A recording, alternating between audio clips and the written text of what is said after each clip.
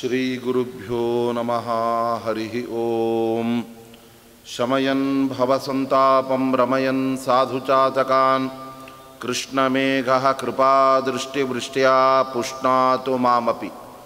श्रीशादिदेवतारम्भां श्रीमन्मध्वसुमध्यमां साक्षान्मद्गुरुपर्यन्तां वंदे गुरुपरम्पराम्। अभ्रमं भङ्गरहितम्, अजडं विमलं सदा। आनन्दतीर्थमतुलं भजे तापत्रयापहं चित्रैः पदैश्च गम्भीरैः वाक्यैर्मानैरखण्डितैः गुरुभावं व्यञ्जयन्ती भाति श्रीजयतीर्थवाक् अर्थिकल्पितकल्पोऽयं प्रत्यर्थिगजकेसरी व्यासतीर्थगुरुर्भूयात् अस्मदिष्टार्थसिद्धये। तपोविद्याविरक्त्यादिसद्गुणौघाकरानहं वादिराजगुरुन्वन्दे हयग्रीवदयाश्रया। दुर्वादिध्वान्तरवये वैष्णवेन्देवरेन्दवे श्रीराघवेन्द्रगुरवे नमः अत्यन्तदयालवे। यस्य प्रचण्डतपसा श्रुतिगीतवृत्तः तुष्टो हरिः किलवशं वदताम् अवाप।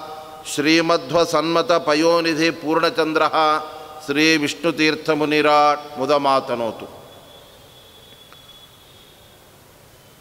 ಶ್ರೀಮನ್ಮಧ್ವಾಚಾರ್ಯರು ವೇದವ್ಯಾಸದೇವರ ವಾಂಗ್ಮಯದ ಹಿನ್ನೆಲೆಯಲ್ಲಿ ಸಮಗ್ರವಾದ ವೇದ ಉಪನಿಷತ್ತುಗಳು, ಬ್ರಹ್ಮಸೂತ್ರಗಳು ಇವುಗಳಿಗೆ ಏಕರೂಪವಾದಂತಹ ವಿಚಾರವನ್ನು ತಿಳಿಸುವ ಹಿನ್ನೆಲೆಯಲ್ಲಿ ಅವರು ತಮ್ಮ ಸಿದ್ಧಾಂತವನ್ನು ಮಂಡನೆ ಮಾಡಿದ್ದಾರೆ. ಅಂತಹ ಮಧ್ವ ಸಿದ್ಧಾಂತ, ಅದು ದ್ವೈತ ಸಿದ್ಧಾಂತ, ವೈಷ್ಣವ ಸಿದ್ಧಾಂತ ಎಂಬುದಾಗಿ ಬೇರೆ ಬೇರೆ ಹೆಸರುಗಳಿಂದಲೂ ಕೂಡ ಅದು ಪ್ರಖ್ಯಾತವಾಗಿರ್ತಕ್ಕಂಥದ್ದಾಗಿದೆ ಅಂತಹ ಶ್ರೀಮದ್ ಆಚಾರ್ಯರ ಸಿದ್ಧಾಂತದಲ್ಲಿರುವ ಆ ಮಧ್ವಮತದ ಮಹೋನ್ನತವಾದ ಮೌಲ್ಯಗಳು ಅಂತ ನಾವು ಗಮನಿಸಿದಾಗ ಅವರು ಹೇಳಿದ ಎಲ್ಲ ವಿಚಾರಗಳಿಗೂ ಕೂಡ ಅಂತಹ ಪ್ರಮಾಣಬದ್ಧತೆ, ಅನಂತರದಲ್ಲಿ ವೇದ ಸೂತ್ರಗಳ ಆನುಗುಣ್ಯತೆ ಇತ್ಯಾದಿಗಳೆಲ್ಲ ಇರೋಣದ್ರಿಂದ ಅವುಗಳು ಕೆಲವು ವಿಚಾರಗಳು ಮೌಲ್ಯಯುಕ್ತವಾಗಿದೆ, ಕೆಲವು ವಿಚಾರಗಳಲ್ಲಿ ಮೌಲ್ಯ ಇಲ್ಲ ಅಂತಲ್ಲವೇ ಇಲ್ಲ. ಶ್ರೀಮದ್ ಆಚಾರ್ಯರು ತಿಳಿಸಿದ ಎಲ್ಲ ಪ್ರಮೇಯಗಳು ಎಲ್ಲ ವಿಚಾರಗಳು ಕೂಡ ಆ ಮೌಲ್ಯಯುತವಾಗಿರ್ತಕ್ಕಂಥವುಗಳಾಗಿದೆ. ಆ ಹಿನ್ನೆಲೆಯಲ್ಲಿ ನಾವು ಮಧ್ವ ಸಿದ್ಧಾಂತವನ್ನು, ಅಲ್ಲಿರುವ ಪ್ರಮೇಯಗಳನ್ನು ನಾವು ಅನುಸಂಧಾನ ಮಾಡಿದಾಗ ಅವುಗಳ ವಿಶೇಷತೆ, ಅವುಗಳ ಮಹತ್ವ ಎಂಥದ್ದು ಅಂತ ನಮಗೆ ಗೊತ್ತಾಗುತ್ತೆ. ಮುಖ್ಯವಾಗಿ ದರ್ಶನಗಳು ಸತ್ಯದ ಆವಿಷ್ಕಾರವನ್ನು ಮಾಡಲು ಹೊರಟಾಗ ಅಲ್ಲಿ ಮುಖ್ಯವಾಗಿ ಪ್ರಮಾಣಗಳ ಅವಶ್ಯಕತೆ ಎಂಬತಕ್ಕಂಥದ್ದು ಬರುತ್ತೆ. ಆ ಪ್ರಮಾಣಗಳಿಂದ ಯುಕ್ತಾಯುಕ್ತ ವಿವೇಚನೆಯನ್ನು ಮಾಡುವಾಗ ಅಲ್ಲಿ ಭೇದದ ಅವಶ್ಯಕತೆ ಎಂಬತಕ್ಕಂಥದ್ದು ಕೂಡ ಬರುತ್ತೆ. ಆ ಭೇದಗಳನ್ನು, ಪಂಚಭೇದಗಳನ್ನು ಪ್ರಮಾಣ ಪುರಸ್ಸರವಾಗಿ, ಅಸಂಕೀರ್ಣವಾಗಿ ನಿರೂಪಣೆ ಮಾಡಿದ ಒಂದು ಕೀರ್ತಿ ಅದು ಮಧ್ವ ಸಿದ್ಧಾಂತಕ್ಕೆ ಸಲ್ಲತ್ತೆ. ಆ ಹಿನ್ನೆಲೆಯಲ್ಲಿ ಪಂಚಭೇದಗಳು ಕೂಡ ಆ ಯುಕ್ತಾಯುಕ್ತ ವಿವೇಚನೆಗೆ ಬಹಳ ಅಗತ್ಯವಾಗಿದೆ ಎಂಬುದನ್ನು ನಾವು ಮನಗಾಣಬೇಕಾಗಿದೆ. ಭಗವಂತ ಸರ್ವೋತ್ತಮನಾಗಿದ್ದಾನೆ. ಆದ್ದರಿಂದ ಅವನು ಎಲ್ಲರಿಂದಲೂ ಕೂಡ ಉಪಾಸ್ಯ. ನಾವು ಅವನ ದಾಸರು ಅಂತೆಲ್ಲ ನಾವು ತಿಳಿಯಬೇಕಾಗಿದ್ದರೆ, ಇಲ್ಲಿ ನಮಗೆ ಭಗವಂತ ಜೀವರಿಗಿಂತ ಭಿನ್ನ ಅನ್ನತಕ್ಕಂತಹ ಪರಿಕಲ್ಪನೆಯನ್ನು ನಾವು ಇಟ್ಕೊಳ್ಳಿಲ್ಲ ಅಂತ ಆದರೆ ಆ ಭಗವಂತನ ಉಪಾಸನೆ ಯಾಕೆ ಅನ್ನತಕ್ಕಂತಹ ಪ್ರಶ್ನೆ ಉದ್ಭವಿಸಿಬಿಡತ್ತೆ. ಆ ದೃಷ್ಟಿಯಿಂದ ಜೀವ ಪರಮಾತ್ಮರ ಭೇದ, ಅರ್ಥಾತ್ ಸಕಲ ಜೀವರಲ್ಲಿ ಪರಸ್ಪರ ಭೇದ ಮತ್ತು ಎಲ್ಲ ಜೀವರಿಗೂ ಮತ್ತು ಭಗವಂತನಿಗೆ ಈ ಭೇದ ಎಂಬತಕ್ಕಂಥ ಪ್ರಮೇಯ ಏನಿದೆಯಲ್ಲ ಇದು ಕೂಡ ವೇದೋಪನಿಷತ್ತುಗಳಲ್ಲಿ ಸ್ಪಷ್ಟವಾಗಿ ನಿರೂಪಣೆಗೊಂಡಿರತಕ್ಕಂಥ ವಿಚಾರವಾಗಿದೆ.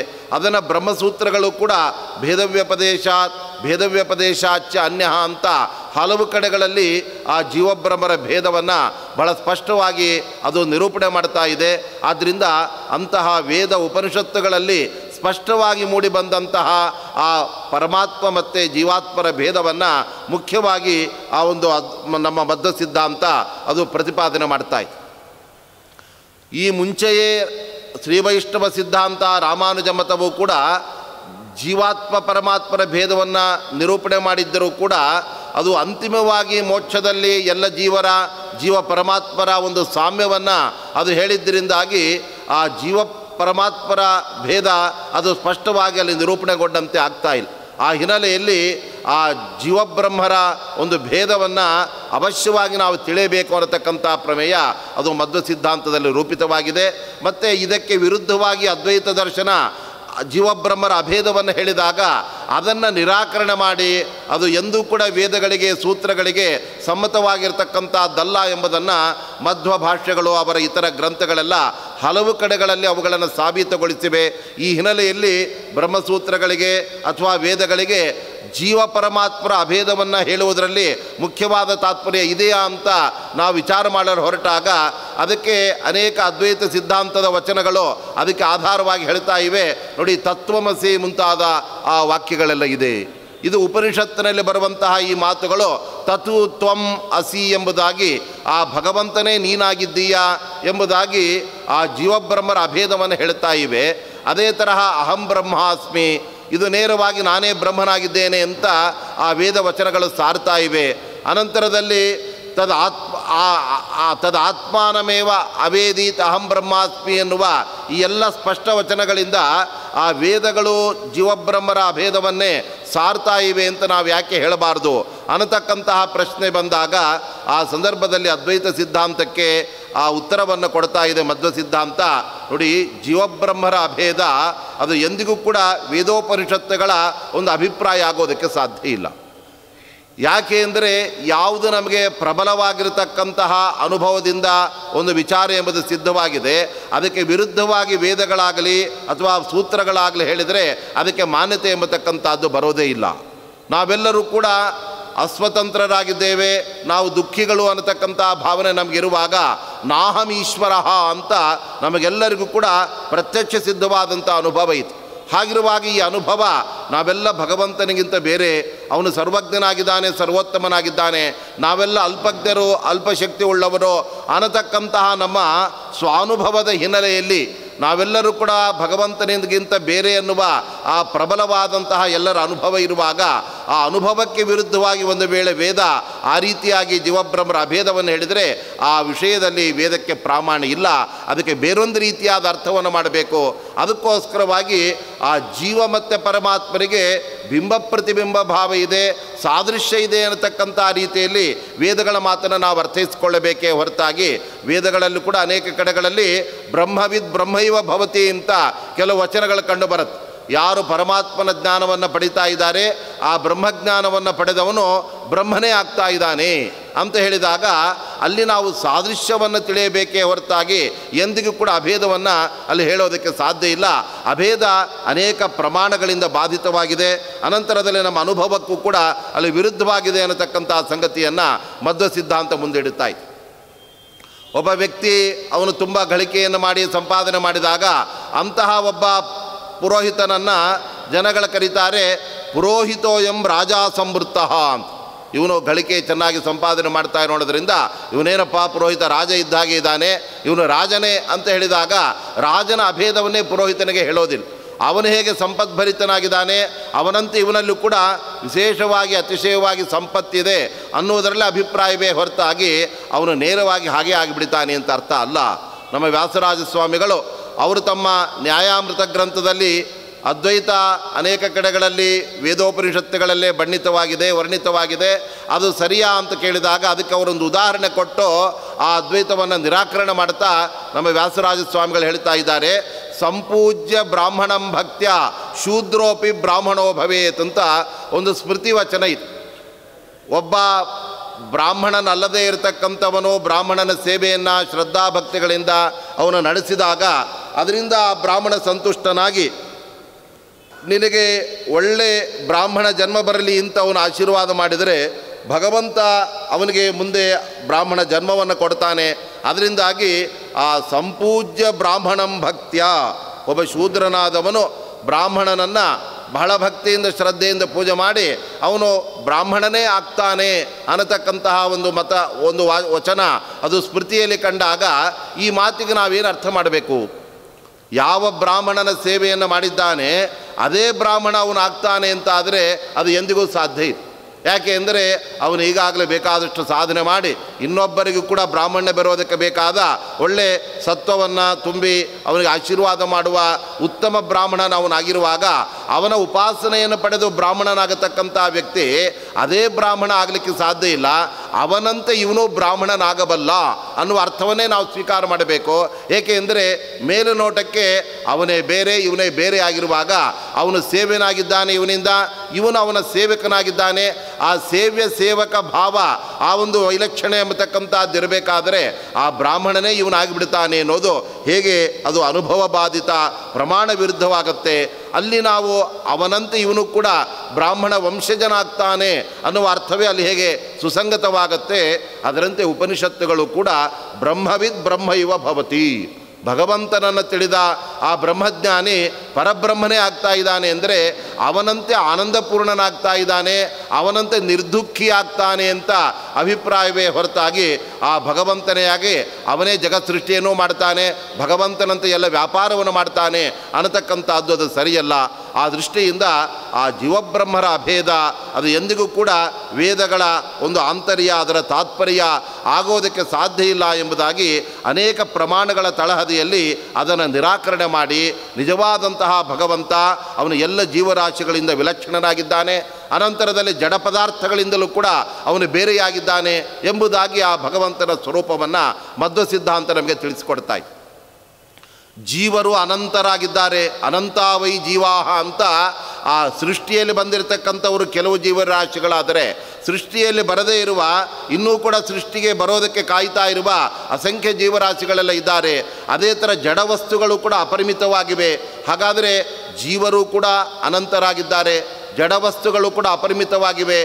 ಹಾಗಿರುವಾಗ ಆ ಜೀವರೇ ಭಗವಂತರಾಗ್ತಾ ಇದ್ದಾರೆ ಅನ್ನತಕ್ಕಂಥ ಮಾತು ಹೇಗೆ ಸುಸಂಗತವಾಗುತ್ತೆ? ಜೀವರಲ್ಲಿ ಅನೇಕತ್ವ ಇದೆ. ಬಹುಸಂಖ್ಯಾಕತ್ವ ಎಂಬತಕ್ಕಂಥದ್ದಿದೆ. ಭಗವಂತ ಮಾತ್ರ ಒಬ್ಬನೇ ಇದ್ದಾನೆ. ಆದ್ದರಿಂದ ಅವನು ಇವರೆಲ್ಲರಿಗಿಂತ ವಿಲಕ್ಷಣನಾಗಲೇಬೇಕಾದ್ದರಿಂದ ಎಲ್ಲ ಜೀವ ಜಡ ವಿಲಕ್ಷಣನಾದ ಆ ಭಗವಂತನ ಸ್ವರೂಪವನ್ನು ನಮ್ಮ ಮಧ್ಯ ಸಿದ್ಧಾಂತ ಪ್ರತಿಪಾದನೆ ಮಾಡ್ತಾ ಇದೆ. ಅದು ಕೂಡ ಇತರ ವಸ್ತುಗಳ ಜೊತೆಗೆ ಭಗವಂತನನ್ನು ಹತ್ತರ ಜೊತೆ ಹನ್ನೊಂದು ಅಂತ ದ್ವೈತ ದರ್ಶನ ಭಗವಂತನನ್ನು ಅಲ್ಲಿ ತಿಳಿಸಲು ಹೊರಟಿರತಕ್ಕಂಥದ್ದಲ್ಲ. ಭಗವಂತನ ಬಗ್ಗೆ ಪ್ರತ್ಯೇಕವಾಗಿ ಅವನ ಶ್ರೇಷ್ಠತೆಯನ್ನು ಗುರುತಿಸಿ ಅವನನ್ನೇ ಮೊದಲು ಅಲ್ಲಿ ಹೇಳಿ ಅನಂತರ ಉಳಿದ ಜೀವರಾಶಿಗಳ ಬಗ್ಗೆ, ಉಳಿದ ಆ ದೇವತಾ ವರ್ಗಗಳ ಬಗ್ಗೆ ಆ ಮಧ್ವ ಸಿದ್ಧಾಂತ ಅದು ನಿರೂಪಣೆ ಮಾಡ್ತಾ ಇತ್ತು. ಅದಕ್ಕೆ ವಿಭಿನ್ನವಾಗಿ, ಇದಕ್ಕೆ ವಿಭಿನ್ನವಾಗಿ ಇತರ ದರ್ಶನಗಳಲ್ಲಿ ನಾವು ಕಾಣ್ತಾ ಇರ್ತೇವೆ. ನೈಯಾಯಿಕರು, ತಾರ್ಕಿಕರು ಅಂತ ಅವರು ಕೂಡ ಈಶ್ವರನ ಅಸ್ತಿತ್ವವನ್ನು ಒಪ್ತಾರೆ. ಅವರೇನು ಚಾರ್ವಾಕರಂತೆ, ಜೈನರಂತೆ, ಅವರು ನಿರೀಶ್ವರವಾದಿಗಳಲ್ಲ. ಈಶ್ವರ ಭಗವಂತ ಇದ್ದಾನೆ ಎಂಬುದಾಗಿ ಈಶ್ವರನ ಅಸ್ತಿತ್ವವನ್ನು ಅವರು ಅಂಗೀಕಾರ ಮಾಡಿದರೂ ಕೂಡ ಅಂತಹ ಈಶ್ವರನನ್ನು ಆ ಭಗವಂತನನ್ನು ನಿರೂಪಣೆ ಮಾಡುವಾಗ ಅವರು ಹೇಗೆ ಆ ಭಗವಂತನ ಸ್ವರೂಪವನ್ನು ತಿಳಿಸ್ತಾ ಇದ್ದಾರೆ ಅಂದರೆ ನೋಡಿ ಪದಾರ್ಥಗಳು ಏಳು ತರಹ ಇದೆ. ಅವುಗಳಲ್ಲಿ ದ್ರವ್ಯವು ಕೂಡ ಒಂದು ಪದಾರ್ಥ.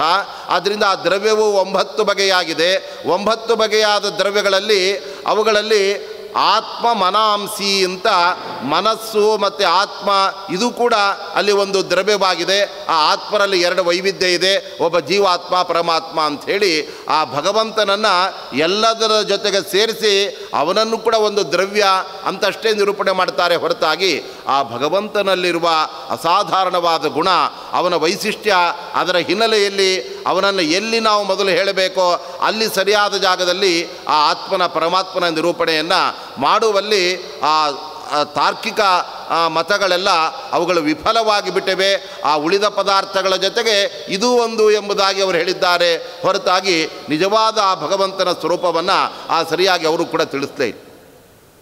ನಮ್ಮ ಶ್ರೀಮದ್ ಆಚಾರ್ಯರು ಹೇಳ್ತಾ ಇದ್ದಾರೆ, ನೋಡಿ ಭಗವಂತನನ್ನು ನಾವು ಹೇಗೆ ತಿಳಿಯಬೇಕು ಅಂದರೆ, ಅವನೇ ಈ ಎಲ್ಲ ಜಗತ್ತಿನ ಸಾರ, ಸ್ವತಂತ್ರನಾಗಿದ್ದಾನೆ. ಮೊದಲು ಅವನನ್ನೇ ನಾವು ತಿಳಿಯಬೇಕು.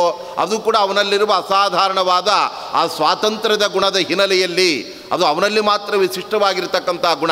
ಈ ಜಗತ್ತಿನಲ್ಲಿರುವ ಎಲ್ಲ ಜೀವರಾಶಿಗಳು ಅಸ್ವತಂತ್ರರಾಗಿದ್ದಾರೆ. ರಮಾಬ್ರಹ್ಮಾದಿ ದೇವತೆಗಳು ಕೂಡ ಅವರೆಲ್ಲರಿಗೆ ನಿಯಾಮಕನಾದ ಭಗವಂತನೊಬ್ಬನೇ ಸ್ವತಂತ್ರ. ಆದ್ದರಿಂದ ಅವನು ತನ್ನ ಪ್ರವೃತ್ತಿಗಳನ್ನು, ತನ್ನ ತಿಳುವಳಿಕೆ, ಅನಂತರದಲ್ಲಿ ತನ್ನ ಅಸ್ತಿತ್ವ, ಅದನ್ನು ಕೇವಲ ತನ್ನ ಅಧೀನದಲ್ಲಿ ಇಟ್ಕೊಂಡಿರುವ ಆ ಸ್ವತಂತ್ರನಾದ ಭಗವಂತ. ಉಳಿದ ದೇವತೆಗಳೆಲ್ಲ ಅವರು ಎಲ್ಲೂ ಕೂಡ ತಮ್ಮ ಅಸ್ತಿತ್ವವನ್ನು ಅವರ ಸ್ವತಂತ್ರವಾಗಿ ತಾವು ಇರಿಸಿಕೊಳ್ಳಲು ಸಾಧ್ಯ ಇಲ್ಲ.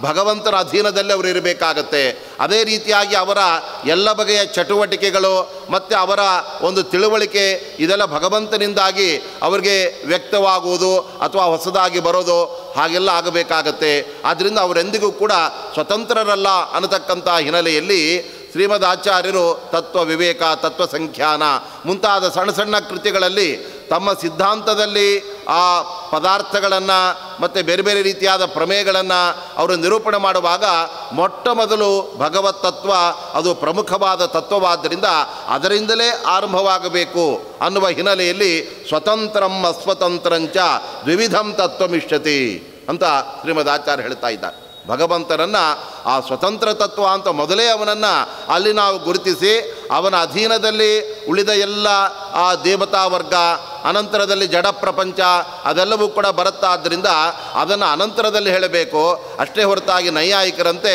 ಅದು ಪೃಥ್ವಿ ಅಪ್ಪು ತೇಜಸ್ಸು, ವಾಯು, ಆಕಾಶ ಕಾಲ, ದಿಕ್ಕು, ಆತ್ಮ ಇವೆಲ್ಲ ಆ ಜಗತ್ತಿನಲ್ಲಿರತಕ್ಕಂಥ ಪದಾರ್ಥಗಳು. ಅವುಗಳ ಜೊತೆಗೆ ಆತ್ಮನೂ ಕೂಡ ಒಂದು ಅಂತ ಹತ್ತರಲ್ಲಿ ಹನ್ನೊಂದಾಗಿ ಭಗವಂತನ ಬಗ್ಗೆ ಹೇಳಿ, ಅವನ ಬಗ್ಗೆ ಸರಿಯಾದಂತಹ ಪ್ರತಿಪಾದನೆ ಮಾಡಲಿಲ್ಲ ಅಂತ ಆದರೆ ಆವಾಗ ಆ ಜನತೆಗೆ ಭಗವಂತನ ಬಗ್ಗೆ ಆ ಸರಿಯಾದಂತಹ ಉತ್ಕೃಷ್ಟ ಜ್ಞಾನ ಬರೋದಿಲ್ಲ. ಅವನಲ್ಲಿ ಸರ್ವಾಧಿಕವಾದ ಭಕ್ತಿಯನ್ನು, ಆ ಪ್ರೀತಿಯನ್ನು ಮಾಡೋದಕ್ಕೆ ಅಲ್ಲಿ ಅವಕಾಶವೇ ಆಗೋದಿಲ್ಲ. ಆ ಸಂದರ್ಭದಲ್ಲಿ ಭಗವಂತನ ಒಲಿಮೆಯನ್ನು ಯಾವ ಭಕ್ತನಿಗೂ ಕೂಡ ಪಡೆಯೋದಕ್ಕೆ ಸಾಧ್ಯವಾಗೋದೇ ನಾವು ನಮಗೆ ಯಾವುದು ಅತ್ಯಂತ ಪ್ರಿಯವಾದ ವಸ್ತುವೋ, ನಮಗೆ ಯಾರು ಅತ್ಯಂತ ಬೇಕಾಗಿದ್ದಾರೆ, ಅವರ ಜೊತೆಗೆ ನಾವು ಮಾತನಾಡ್ತಾ ಇರುವಾಗ, ಮಧ್ಯದಲ್ಲಿ ಯಾರಾದರೂ ಇನ್ನೊಬ್ಬರು ಬಂದರೆ ನಮಗೆ ಅವ್ರ ಜೊತೆಗೆ ಮಾತನಾಡಲಿಕ್ಕೆ ಇಷ್ಟ ಇರೋದಿಲ್ಲ. ನಾವೇ ಮಾತನಾಡ್ತಾ ಇರ್ತೇವೆ. ಆವಾಗ ಅವರಿಗೆ ಬೇಸರ ಆಗಬಾರ್ದು ಅಂತ ಮಧ್ಯ ಮಧ್ಯ ಅವರ ನೋಡಿ, ಹೌದಲ್ವಾ ಅಂತ ಕೇಳೋದು. ಮತ್ತೆ ಅರ್ಧ ಗಂಟೆ ಇವ್ರ ಜೊತೆನೇ ಮಾತಾಡೋದು. ಹೌದು ತಾನೆ ಅಂತ ಇವರನ್ನು ಕೇಳೋದು. ಅವನು ಅಂದ್ಕೊಳ್ತಾನೆ, ಓ, ಇವ್ರಿಗೆ ಯಾಕೋ ನಮ್ಮನ್ನು ನೋಡಿ ಮಾತನಾಡಿಸೋದಕ್ಕೆ ಇಷ್ಟ ಇಲ್ಲ. ಆದ್ದರಿಂದ ಸುಮ್ಮನೆ ಇಲ್ಲಿಂದ ಜಾಗ ಖಾಲಿ ಮಾಡೋ ಒಳ್ಳೆಯದು ಅಂತ ಅವನು ಅಲ್ಲಿಂದ ಹೊರಟು ಹೋಗಿಬಿಡ್ತಾ ಇರ್ತಾನೆ. ಅದರಂತೆ ನಮಗೆ ಬೇಕಾದಂತಹ ಭೌತಿಕ ವಸ್ತುಗಳು, ಅನಂತರದಲ್ಲಿ ವಿಷಯ ಸುಖಗಳನ್ನು ನಮಗೆ ನೀಡತಕ್ಕಂತಹ ಸಾಮಗ್ರಿಗಳು, ಅವುಗಳ ಬಗ್ಗೆನೇ ನಾವು ತುಂಬ ಆಸಕ್ತಿಯನ್ನು ವಹಿಸಿ ಭಗವಂತನ ಬಗ್ಗೆ ಆಗಾಗ ಬೆಳಗ್ಗೆ ಎದ್ಕೊಳ್ಳೋ ಒಂದು ಹತ್ತು ನಿಮಿಷ ದೇವ್ರ ಮುಂದೆ ನಾವು ಕೂತಂತೆ ಮಾಡೋದು, ಸಾಯಂಕಾಲ ಒಂದು ಆರತಿ ಎತ್ಬಿಟ್ಟು ಮುಗಿತಾ ನಿನ್ನ ಕತೆ, ಅಂತ ದೇವರನ್ನು ನಾವು ಕೈ ಮುಗಿದು ಮಲಗಿಸ್ಬಿಡೋದು. ಬೆಳಗ್ಗೆವರೆಗೂ ನನಗೂ ನಿನಗೂ ಸಂಬಂಧವೇ ಇಲ್ಲ. ಅನ್ನುವ ರೀತಿಯಲ್ಲಿ ಆ ಭಗವಂತನನ್ನು ಎಷ್ಟು ಬೇಕೋ ಅಷ್ಟಕ್ಕೆ ತಕ್ಕ ಮಟ್ಟಿಗೆ ನಾವು ಇಟ್ಕೊಂಡು ಅವನ ಬಗ್ಗೆ ನಾವು ಒಂದು ರೀತಿಯಾದ ಉದಾಸೀನ ಮನೋಭಾವದ ಆ ಧೋರಣೆಯನ್ನು ನಾವು ಪಡೆದರೆ ಆವಾಗ ಭಗವಂತನ ಅರಿವೇ ನಮಗೆ ಸರಿಯಾಗಿ ಬರೋದಿಲ್ಲ. ಆವಾಗ ಅವನಲ್ಲಿ ಉತ್ಕೃಷ್ಟವಾದ ಭಕ್ತಿಯನ್ನು ಕೂಡ ಅಲ್ಲಿ ಮಾಡೋದಕ್ಕೆ ಸಾಧ್ಯ ಇಲ್ಲ. ಆ ದೃಷ್ಟಿಯಿಂದ ಯಾವುದು ಸರ್ವೋತ್ತಮವಾದ ವಸ್ತುವೋ, ಯಾವುದು ಜಗತ್ತಿನ ಸಾರಭೂತವಾದ ವಸ್ತುವಾಗಿದೆಯೋ, ಅದು ಮೊದಲು ಅಲ್ಲಿ ನಿರೂಪಣೆಗೊಳ್ಳಬೇಕು. ಆ ಹಿನ್ನೆಲೆಯಲ್ಲಿ ಮಧ್ವ ಸಿದ್ಧಾಂತ ಭಗವತ್ ತತ್ವವನ್ನು ಅಲ್ಲಿ ನಿರೂಪಣೆ ಮಾಡುವಾಗ ಮೊಟ್ಟ ಮೊದಲು ಸ್ವತಂತ್ರ ತತ್ವವೆನಿಸಿದ ಭಗವಂತ, ಅನಂತರದಲ್ಲಿ ಆ ಭಗವಂತನ ಅಧೀನಕ್ಕೆ ಬ ಒಳಪಡುವ ಈ ಶ್ರೀತತ್ವ, ಅನಂತರದಲ್ಲಿ ಪ್ರಾಣತತ್ವ, ಉಳಿದ ಎಲ್ಲ ದೇವತೆಗಳು ಮತ್ತು ಜೀವರಾಶಿಗಳು, ಈ ಜಡ ಪ್ರಪಂಚ ಅದೆಲ್ಲವನ್ನು ಕೂಡ ಅನಂತರದಲ್ಲಿ ನಾವು ತಿಳಿಯಬೇಕು ಎಂಬುದಾಗಿ ಆ ಹೇಳುವ ಮೂಲಕ ಆ ಭಗವಂತನಿಗೆ ಸರಿಯಾದ ಸ್ಥಾನಮಾನ ಹೇಗೆ ನೀಡಬೇಕು, ಯಾವ ರೀತಿಯಾಗಿ ಪರತತ್ವದ ನಿರೂಪಣೆ, ಅದು ಶಾಸ್ತ್ರಗಳಲ್ಲಿ ಬರಬೇಕು ಅನ್ನೋದಕ್ಕೆ ಮಾದರಿಯಾಗುವಂತೆ ಶ್ರೀಮದಾಚಾರ್ಯರು ಈ ಎಲ್ಲ ತತ್ವಗಳನ್ನು, ಪ್ರಮೇಯಗಳನ್ನು ಅವರು ನಿರೂಪಣೆ ಮಾಡಿದ್ದಾರೆ. ಹಾಗಾಗಿ ಭಗವಂತನೊಬ್ಬನೇ ಸ್ವತಂತ್ರ.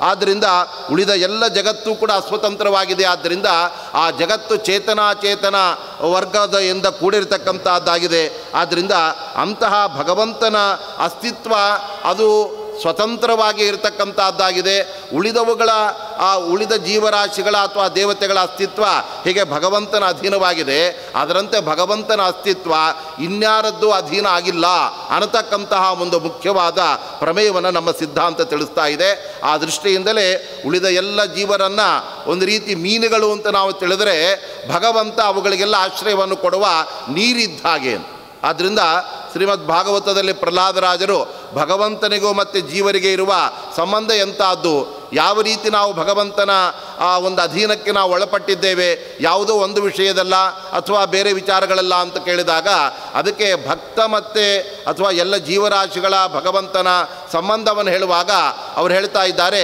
ಯಥಾ ಝಷಾಣಾಂ ಇವ ತೋಯ ಮಧ್ಯೆ ಅಂತ ನೀರು ಮತ್ತು ಮೀನುಗಳ ಸಂಬಂಧ ಇದ್ದಾಗೆ ಈ ಎಲ್ಲ ಅಸ್ವತಂತ್ರ ಜೀವರಾಶಿಗಳಿಗೂ ಮತ್ತು ಭಗವಂತನಿಗೂ ಇರತಕ್ಕಂತಹ ಒಂದು ಸಂಬಂಧ ಎಂಬುದಾಗಿ ಅವರು ನಿರೂಪಣೆ ಮಾಡ್ತಾ ಇದ್ದಾರೆ. ಯಾಕೆಂದರೆ ಮೀನುಗಳು ಇರಬೇಕಾಗಿದ್ದರೆ ನೀರು ಇರಲೇಬೇಕು. ನೀರು ಇಲ್ಲ ಅಂತ ಆದರೆ ಆ ಮೀನುಗಳ ಅಸ್ತಿತ್ವನೇ ಇರೋದಕ್ಕೆ ಸಾಧ್ಯ ಇಲ್ಲ. ಆದರೆ ನೀರು ಇರಬೇಕಾಗಿದ್ದರೆ ಮೀನುಗಳ ಅವಶ್ಯಕತೆ ಇಲ್ಲ. ನೀರು ಸ್ವತಂತ್ರವಾಗಿ ತಾನು ಇರಬಲ್ಲದು. ಉಳಿದವುಗಳಿಗೂ ಕೂಡ ಜಲಚರ ಪ್ರಾಣಿಗಳಿಗೆ ಅದು ಆಶ್ರಯವನ್ನು ಕೊಡಬಲ್ಲದು ಅಷ್ಟು ಮಾತ್ರವಲ್ಲ, ಇಂತಹ ಹಲವಾರು ಆ ಜಲಚರ ಪ್ರಾಣಿಗಳ ಹಿಂದೆಯೂ ಕೂಡ ಆ ಜಲಾಶಯದಲ್ಲಿ ಇದ್ದು ಅವೆಲ್ಲ ಹೋಗಿವೆ, ಮತ್ತೆ ಹೊಸದಾಗಿ ಹುಡ್ತಾ ಇವೆ. ಆ ಹಿಂದೆ ಆಗಿ ಹೋದ, ಈಗಿರುವ, ಮುಂದೆ ಬರುವ ಎಲ್ಲ ತರಹದ ಈ ಜಲಚರ ಪ್ರಾಣಿಗಳಿಗೆಲ್ಲ ಆಶ್ರಯವನ್ನು ಕೊಟ್ಟು ತಾನು ಮಾತ್ರ ಯಾರಿಂದಲೂ ಕೂಡ ಆಶ್ರಯವನ್ನು ಪಡೆಯದೆ ಇನ್ನೊಬ್ಬರ ಅಧೀನತೆಯನ್ನು ಅನುಭವಿಸದೆ ಆ ಸ್ವತಂತ್ರವಾಗಿರ್ತಕ್ಕಂಥದ್ದು ಯಾವುದು? ಅದು ಜಲತತ್ವ. ಅದರಂತೆ ಭಗವಂತನು ಕೂಡ ಎಲ್ಲ ಜೀವರಾಶಿಗಳಿಗೆ ಅವನೇ ಆಶ್ರಯವನ್ನು ಕೊಡ್ತಾ ಇದ್ದಾನೆ. ಅವನ ಅಧೀನವಾಗಿ ಎಲ್ಲ ಆ ಜೀವರಾಶಿಗಳು ಇದ್ದಾರೆ. ಯಾವ ಸಂದರ್ಭದಲ್ಲೂ ಕೂಡ ಅವರುಗಳಿಗೆ ಆ ಭಗವಂತನೇ ಭಗವಂತ ಇಲ್ಲದೆ ಅವುಗಳಿಗೆ ಬದುಕು ಎಂಬತಕ್ಕಂಥದ್ದೇ ಇಲ್ಲ. ಹೇಗೆ ನೀರಿಲ್ಲದೆ ಆ ಮೀನಿಗೆ ಅಸ್ತಿತ್ವವೇನೇ ಇಲ್ಲ, ಅದರ ಬದುಕೇ ಇಲ್ಲ, ಅದರಂತೆ ನಮಗೆ ಭಗವಂತನಿಲ್ಲದೆ ನಮಗೆ ಯಾವುದೇ ರೀತಿಯಾದ ಅಸ್ತಿತ್ವ ಇಲ್ಲ. ಅನಂತರದಲ್ಲಿ ಯಾವುದೇ ರೀತಿಯಾದ ಬದುಕು ನಮಗೆ ಆ ಇಲ್ಲವಾದ್ದರಿಂದ ಈ ಹಿನ್ನೆಲೆಯಲ್ಲಿ ನಮ್ಮೆಲ್ಲರನ್ನು ಕೂಡ ಅಲ್ಲಿ ನಿಯಮನ ಮಾಡ್ತಕ್ಕಂತಹ, ನಮಗೆ ಆಶ್ರಯವನ್ನು ಅನಂತರದಲ್ಲಿ ಎಲ್ಲ ಬಗೆಯಾಗಿರ್ತಕ್ಕಂತಹ ಆ ಒಂದು ಸತ್ವವನ್ನು ನೀಡಿದ ಆ ಭಗವಂತ ಅವನು ಸ್ವತಂತ್ರನಾಗಿ ಸರ್ವೋತ್ತಮನಾಗಿದ್ದಾನೆ ಎನ್ನುವುದೇ ಅದು ಮುಖ್ಯವಾಗಿರ್ತಕ್ಕಂಥ ಪ್ರಮೇಯ. ಹೀಗೆ ವೇದಗಳ ಆಧಾರದಿಂದ ಈ ಸ್ವತಂತ್ರ ತತ್ವವೆನಿಸಿದ ಭಗವಂತನನ್ನು ಮೊಟ್ಟ ಮೊದಲು ಪ್ರತಿಪಾದನೆ ಮಾಡಿದಂತಹ ಮಧ್ವ ಸಿದ್ಧಾಂತ ಅವನ ಪಾರಮ್ಯವನ್ನು ಕೂಡ ಸಾಧನೆ ಮಾಡ್ತಾ ಇದೆ. ಇದು ಉಳಿದ ದರ್ಶನಗಳನ್ನು ನಾವು ಕಾಣೋದಕ್ಕೆ ಅಲ್ಲಿ ಸಾಧ್ಯವೇ ನೈಯಾಯಿಕರು ಕೂಡ ಭಗವಂತನನ್ನು ತಾರ್ಕಿಕರು ಅವನು ನಿಯಾಮಕನಾಗಿದ್ದಾನೆ ಜಗತ್ತಿಗೆ ಅಂತ ಹೇಳಿದರೂ ಕೂಡ ಅವರು ಸ್ಪಷ್ಟವಾಗಿ ಭಗವಂತನಲ್ಲಿ ಸರ್ವೋತ್ತಮತ್ವ ಇದೆ. ಅವನು ಇತರ ಜೀವರಾಶಿಗಳನ್ನು ಯಾವ ಅಂಶದಲ್ಲಿ ಅವನು ತನ್ನ, ಆ, ಹಿಡಿತದಲ್ಲಿ ಇಟ್ಕೊಂಡಿದ್ದಾನೆ, ಅವರ ಮೇಲೆ ನಿಯಮನ ಮಾಡ್ತಾ ಇದ್ದಾನೆ, ಆ ಅಂಶಗಳನ್ನು ಅವರೆಲ್ಲ ಸ್ಪಷ್ಟಪಡಿಸೋದೇ ಆದರೆ ಶ್ರೀಮದ್ ಆಚಾರ್ಯರು ಮಾತ್ರ ಆ ಭಗವಂತ ಅವನು ಸ್ವತಂತ್ರನಾಗುವುದರ ಜೊತೆಗೆ ಅವನು ಸರ್ವೋತ್ತಮನಾಗಿದ್ದಾನೆ. ಇದಕ್ಕೆ ವೇದವೇ ಬಹಳ ಸ್ಪಷ್ಟವಾದ ಆಧಾರ ಎಂಬುದಾಗಿ ಹೇಳಿ ಅವರು ನಿರೂಪಣೆ ಮಾಡಬೇಕಾದರೆ ಅದಕ್ಕೆ ವೇದಗಳಲ್ಲೂ ಕೂಡ ಭಗವಂತನ ಸರ್ವೋತ್ತಮತ್ವಕ್ಕೆ ಆ ಪೂರಕವಾದ ಅಂಶಗಳಿಗೆ ಬದಲಾಗಿ ಉಳಿದ ದೇವತೆಗಳಿಗೆ ಶ್ರೇಷ್ಠತೆಯನ್ನು ಹೇಳುವ ವಚನಗಳೇ ಹೆಚ್ಚಾಗಿ ಕಂಡು ಬರ್ತಾ ಇತ್ತು. ನಾವು ಋಗ್ವೇದ, ಬೇರೆ ಬೇರೆ ವೇದಗಳನ್ನು ನೋಡಿ ಅಲ್ಲೆಲ್ಲ ಇಂದ್ರ, ವಾಯು, ವರುಣ, ಅಗ್ನಿ ಇವರುಗಳ ಬಗ್ಗೆನೇ ಪ್ರತಿಪಾದನೆ ಇದೆ. ಋಗ್ವೇದ ಆರಂಭವಾಗುವುದೇ ಅಗ್ನಿಮೀಳೆ ಪುರೋಹಿತಂ. ಒಂಬತ್ತು ವಚನಗಳು ಋಕ್ಕುಗಳ ಬರೀ ಅಗ್ನಿಯ ಬಗ್ಗೆ ಹೇಳ್ತಾ ಇವೆ. ಅನಂತರದಲ್ಲಿ ಇಂದ್ರನ ಬಗ್ಗೆ ವಾಯು, ವರಣ, ಇತರ ದೇವತೆಗಳು, ಮಿತ್ರಾವರಣರು ಅಂತ ಅವರುಗಳ ಬಗ್ಗೆ ಹೀಗೆ ವೇದಗಳೆಲ್ಲ ಆ ಸರ್ವೋತ್ತಮನಾದ ಯಾವ ಭಗವಂತನನ್ನು ಒತ್ತು ಕೊಟ್ಟು ಅವನ ಬಗ್ಗೆ ಹೇಳಬೇಕಾಗಿತ್ತು, ಆ ದೇವರನ್ನು ಬಿಟ್ಟು ಉಳಿದ ದೇವತೆಗಳ ಬಗ್ಗೆ ಹೇಳ್ತಾ ಇವೆ. ಎಲ್ಲೋ ಒಂದು ಕಡೆ ಮಾತ್ರ ಅಗ್ನಿರ್ವೈ ದೇವಾನಾಂ ಅವಮಹ ವಿಷ್ಣು ಪರಮಃ ಅಂತ ಒಂದು ಶ್ರುತಿ ಮಾತ್ರ ದೇವತಾ ವರ್ಗದಲ್ಲಿ ಇರುವ ಅಗ್ನಿ ಅವನು ಎಲ್ಲರಿಗಿಂತ ಅವನು ಕಡಿಮೆಯವನಾಗಿದ್ದಾನೆ. ವಿಷ್ಣು ಮಾತ್ರ ಅವನು ಪರಮ ಸರ್ವೋತ್ತಮನಾಗಿದ್ದಾನೆ ಅಂತ ಹೇಳಿಬಿಡ್ತಾನೆ. ಹಾಗಾದರೆ ಆ ಭಗವಂತನ ಸರ್ವೋತ್ತಮತ್ವವೇ ವೇದಗಳಿಗೆ ಮುಖ್ಯವಾದ ತಾತ್ಪರ್ಯ ಎಂಬುದನ್ನು ಸಿದ್ಧಾಂತ ಮಾಡಿದಂತಹ ಶ್ರೀಮದ್ ಆಚಾರ್ಯರು. ಹಾಗಾದರೆ ವೇದಗಳು ಇಂದ್ರ, ವಾಯು, ವರುಣ ಇವರುಗಳ ಬಗ್ಗೆ ಹೇಳ್ತಾ ಇದೆ. ಹಾಗಾದರೆ ಅವರೂ ಶ್ರೇಷ್ಠರ. ವೇದಗಳಲ್ಲಿ ಮುಖ್ಯವಾಗಿ ಯಾರ ಪ್ರತಿಪಾದನೆ ಬರ್ತಾ ಇದೆ? ಯಾರನ್ನು ಮುಖ್ಯವಾಗಿ ಸಕಲ ವೇದಗಳು ಕೂಡ ಪ್ರತಿಪಾದನೆ ಮಾಡ್ತಾ ಇವೆ ಅನ್ನತಕ್ಕಂಥ ಪ್ರಶ್ನೆ ಬಂದಾಗ ಅದಕ್ಕೆ ಶ್ರೀಮದ್ ಆಚಾರ್ಯ ಹೇಳ್ತಾ ಇದ್ದಾರೆ, ವಿಷ್ಣೋ ಸರ್ವೋತ್ತಮತ್ವೇ ಸಕಲ ವೇದಾನಾಂ ಮಹಾತಾತ್ಪರ್ಯಂ ಅಂತ ಇದ್ದಾರೆ. ಉಳಿದ ದೇವತೆಗಳನ್ನು ಅಲ್ಲಿ ಪ್ರತಿಪಾದನೆ ಮಾಡ್ತಕ್ಕಂಥ ವೇದಗಳೇನಿದೆಯಲ್ಲ, ಅದು ಆ ದೇವತೆಗಳನ್ನು ಹೇಳುವ ಉದ್ದೇಶವನ್ನು ಅದು ಹೊಂದಿಲ್ಲ. ಆ ಹೆಸರಿನಿಂದ ಭಗವಂತನನ್ನೇ ಆ ವೇದಗಳ ಪ್ರತಿಪಾದನೆ ಮಾಡ್ತಾ ಇವೆ. ಹಾಗಾದರೆ ಭಗವಂತನಿಗೆ ಈ ಇಂದ್ರ, ವಾಯು, ವರುಣ ಅನ್ನತಕ್ಕಂಥ ಬೇರೆ ಬೇರೆ ಹೆಸರುಗಳೆಲ್ಲ ಬಂದಿದೆ ಅಂತಾಯಿತೋ. ಆ ಒಂದು ಸಿದ್ಧಾಂತವನ್ನು, ಎಲ್ಲ ಶಬ್ದಗಳು ಕೂಡ ಭಗವಂತನನ್ನು ಪ್ರತಿಪಾದನೆ ಮಾಡ್ತಾ ಇವೆ ಅನ್ನೋ ಅಂಶವನ್ನು ವೇದಗಳ ಆಧಾರದಿಂದ ಶ್ರೀಮದ್ ಆಚಾರ್ಯರು ಸರ್ವ ಶಬ್ದ ವಾಚ್ಯ ಭಗವಂತ ಅನ್ನತಕ್ಕಂಥ ಪ್ರಮೇಯವನ್ನು ಅದಕ್ಕೆ ಪೂರಕವಾಗಿ ಆ ಭಗವಂತನ ಗೂಢಪೂರ್ಣತ್ವ, ಅನಂತರದಲ್ಲಿ ಅವನ ಸರ್ವೋತ್ತಮತ್ವವನ್ನು ಅಲ್ಲಿ ಸ್ಥಾಪನೆ ಮಾಡೋದಕ್ಕೆ ಅವರು ಬಳಸ್ಕೊಳ್ತಾ ಇದ್ದ ವೇದಗಳು ಅನೇಕ ಕಡೆಗಳಲ್ಲಿ ಬಹಳ ಸ್ಪಷ್ಟವಾಗಿ ಹೇಳ್ತಾ ಇದೆ. ಭಗವಂತ ಯೋವೈ ನಾಮಧಾರಕಃ. ಎಲ್ಲ ನಾಮಗಳು ಕೂಡ ಭಗವಂತನದ್ದೇ ಆಗಿದೆ ಅಂತ ಹೇಳುವಾಗ ಇಂದ್ರವಾಯುವರ್ಣ ಇತ್ಯಾದಿ ಶಬ್ದಗಳು ಕೂಡ ಅದು ಭಗವಂತನನ್ನೇ ಹೇಳ್ತಾ ಇವೆ. ಆದ್ದರಿಂದ ಅದೆಲ್ಲವೂ ಕೂಡ ಬೇರೆ ಬೇರೆ ಹೆಸರುಗಳಿಂದ ಆ ಭಗವಂತನನ್ನೇ ಆ ಕರೆಯುವ ರೀತಿ ಅದು ವೇದಗಳದ್ದಾಗಿದೆ ಹೊರತಾಗಿ. ನಿಜವಾಗಲೂ ಕೂಡ ಆ ವ್ಯಕ್ತಿಗಳೇ ಅಲ್ಲಿ ಎಲ್ಲ ಸಂದರ್ಭದಲ್ಲೂ ಅವರನ್ನು ನಾವು ತೆಗೆದುಕೊಳ್ಳಿಕ್ಕೆ ಆಗೋದಿಲ್ಲ ಯಾಕೆ ಅಂದರೆ ಅಗ್ನಿಯ ಬಗ್ಗೆ, ವರುಣ ವಾಯುಗಳ ಬಗ್ಗೆ ವೇದಗಳು ಹೇಳಿದಾಗ ಈ ವೇದಗಳು ಎಲ್ಲ ಕಾಲದಲ್ಲೂ ಕೂಡ ಇರತ್ತೆ. ಪ್ರಳಯ ಕಾಲದಲ್ಲೂ ಕೂಡ ವೇದಗಳೆಲ್ಲ ಇತ್ತು. ಹಾಗಾದರೆ ಈ ದೇವತೆಗಳೆಲ್ಲ ಲಯಕಾಲದಲ್ಲಿ ಭಗವಂತನ ಒಂದು ದೇಹವನ್ನು ಪ್ರವೇಶ ಮಾಡಿಬಿಡ್ತಾ ಇದ್ದಾರೆ. ಆ ಸಂದರ್ಭದಲ್ಲಿ ಕೂಡ ಅಗ್ನಿ, ವಾಯು, ವರುಣ, ಯಮ ಅನ್ನತಕ್ಕಂತಹ ಹೆಸರು, ಆ ಹೆಸರಿನ ಸೂಕ್ತಗಳು, ಆ ವೇದ ಮಂತ್ರಗಳೆಲ್ಲ ಇದ್ದಾಗ ಆ ವೇದ ಮಂತ್ರಗಳಿಂದ, ಆ ಸೂಕ್ತಗಳಿಂದ ಯಾರು ಪ್ರತಿಪಾದ್ಯರಾಗಬೇಕು ಪ್ರಳಯ ಕಾಲದಲ್ಲಿ? ಈ ಪ್ರಸಿದ್ಧನಾದ ದೇವಲೋಕದ ಇಂದ್ರನಾಗಿರ್ತಕ್ಕಂಥ ಇಂದ್ರದೇವರು ಪ್ರಳಯ ಕಾಲದಲ್ಲಿ ಆ ಇಂದ್ರ ಶಬ್ದ ವಾಚ್ಯರಾಗಲಿಕ್ಕೆ ಸಾಧ್ಯ ಇಲ್ಲ. ಏಕೆಂದರೆ ಅವರ ಅಸ್ತಿತ್ವನೇ ಇಲ್ಲ, ಅವರು ಭಗವಂತನ ಹೊಟ್ಟೆಯಲ್ಲಿ ಸೇರ್ಕೊಂಡ್ಬಿಟ್ಟಿದ್ದಾರೆ. ಹಾಗಾದರೆ ಆ ಇಂದ್ರ ಶಬ್ದಕ್ಕೆ ಭಗವಂತ ಎಂಬುದಾಗಿ ಅರ್ಥ. ಇದನ್ನು ಶ್ರೀಮದಾಚಾರ್ಯರು ತಮ್ಮ ಅತ್ಯುತ್ತಮವಾದಂತಹ ಪ್ರತಿಭೆಯಿಂದ ಆ ಇಂದ್ರ ಶಬ್ದಕ್ಕೆ ನಾವು ನಿರ್ವಚನ ಮಾಡಿ, ರೂಢಿಯಿಂದ ಬರೀ ದೇವೇಂದ್ರ ಅಂತಷ್ಟೇ ನಾವು ತಿಳಿಯತಕ್ಕಂಥದ್ದಲ್ಲ ಇಂದ್ರ ಅನ್ನುವ ಶಬ್ದವನ್ನು ನಾವು ಬಿಡಿಸಿದಾಗ ಇತು ಈ ಇದಿ ಪರಮೈಶ್ವರ್ಯೇ ಅಂತ ಇಂದ್ರ ಶಬ್ದಕ್ಕೆ ಅದ್ಭುತವಾದ ಪರಮೈಶ್ವರ್ಯವನ್ನು ಪಡೆದವನು ಅಂತ ಅರ್ಥವಾಗತ್ತೆ. ಆ ಪರಮೈಶ್ವರ್ಯ ನಿರವಧಿಕವಾಗಿ ಎಲ್ಲ ಕಾಲದಲ್ಲಿ ಇರತಕ್ಕಂಥದ್ದು ಭಗವಂತನಿಗೆ ಮಾತ್ರವೇ ಹೊರತಾಗಿ ಈ ದೇವೇಂದ್ರನಿಗೆ ಸ್ವರ್ಗಲೋಕದ ಒಡೆಯನಾದ ಇಂದ್ರದೇವರಿಗೆ ಆ ಇಂದ್ರ ಶಬ್ದ ವಾಚ್ಯತ್ವ ಇಲ್ಲ.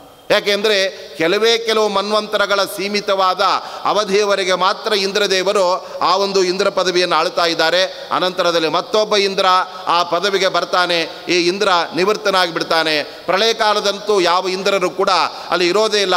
ಹಾಗಾದರೆ ನಾಮಾನಿ ಸರ್ವಾಣಿ ಎಂ ಆವಿಶಂತಿ ತಂಬೈ ವಿಷ್ಣುಂ ಪರಮ ಉದಾಹರಂತಿ ಅನ್ನುವ ಈ ಬಾಲ್ಯವೆಯ ಶ್ರುತಿಯನ್ನು ಮೂಲ ಆಧಾರವಾಗಿಟ್ಟುಕೊಂಡು ಶ್ರೀಮದಾಚಾರ್ಯರು ಭಗವಂತನಿಗೆ ಸರ್ವ ಶಬ್ದ ವಾಚ್ಯತ್ವವನ್ನು ಅವರು ಪ್ರತಿಪಾದನೆ ಮಾಡ್ತಾ ಇದ್ದಾರೆ.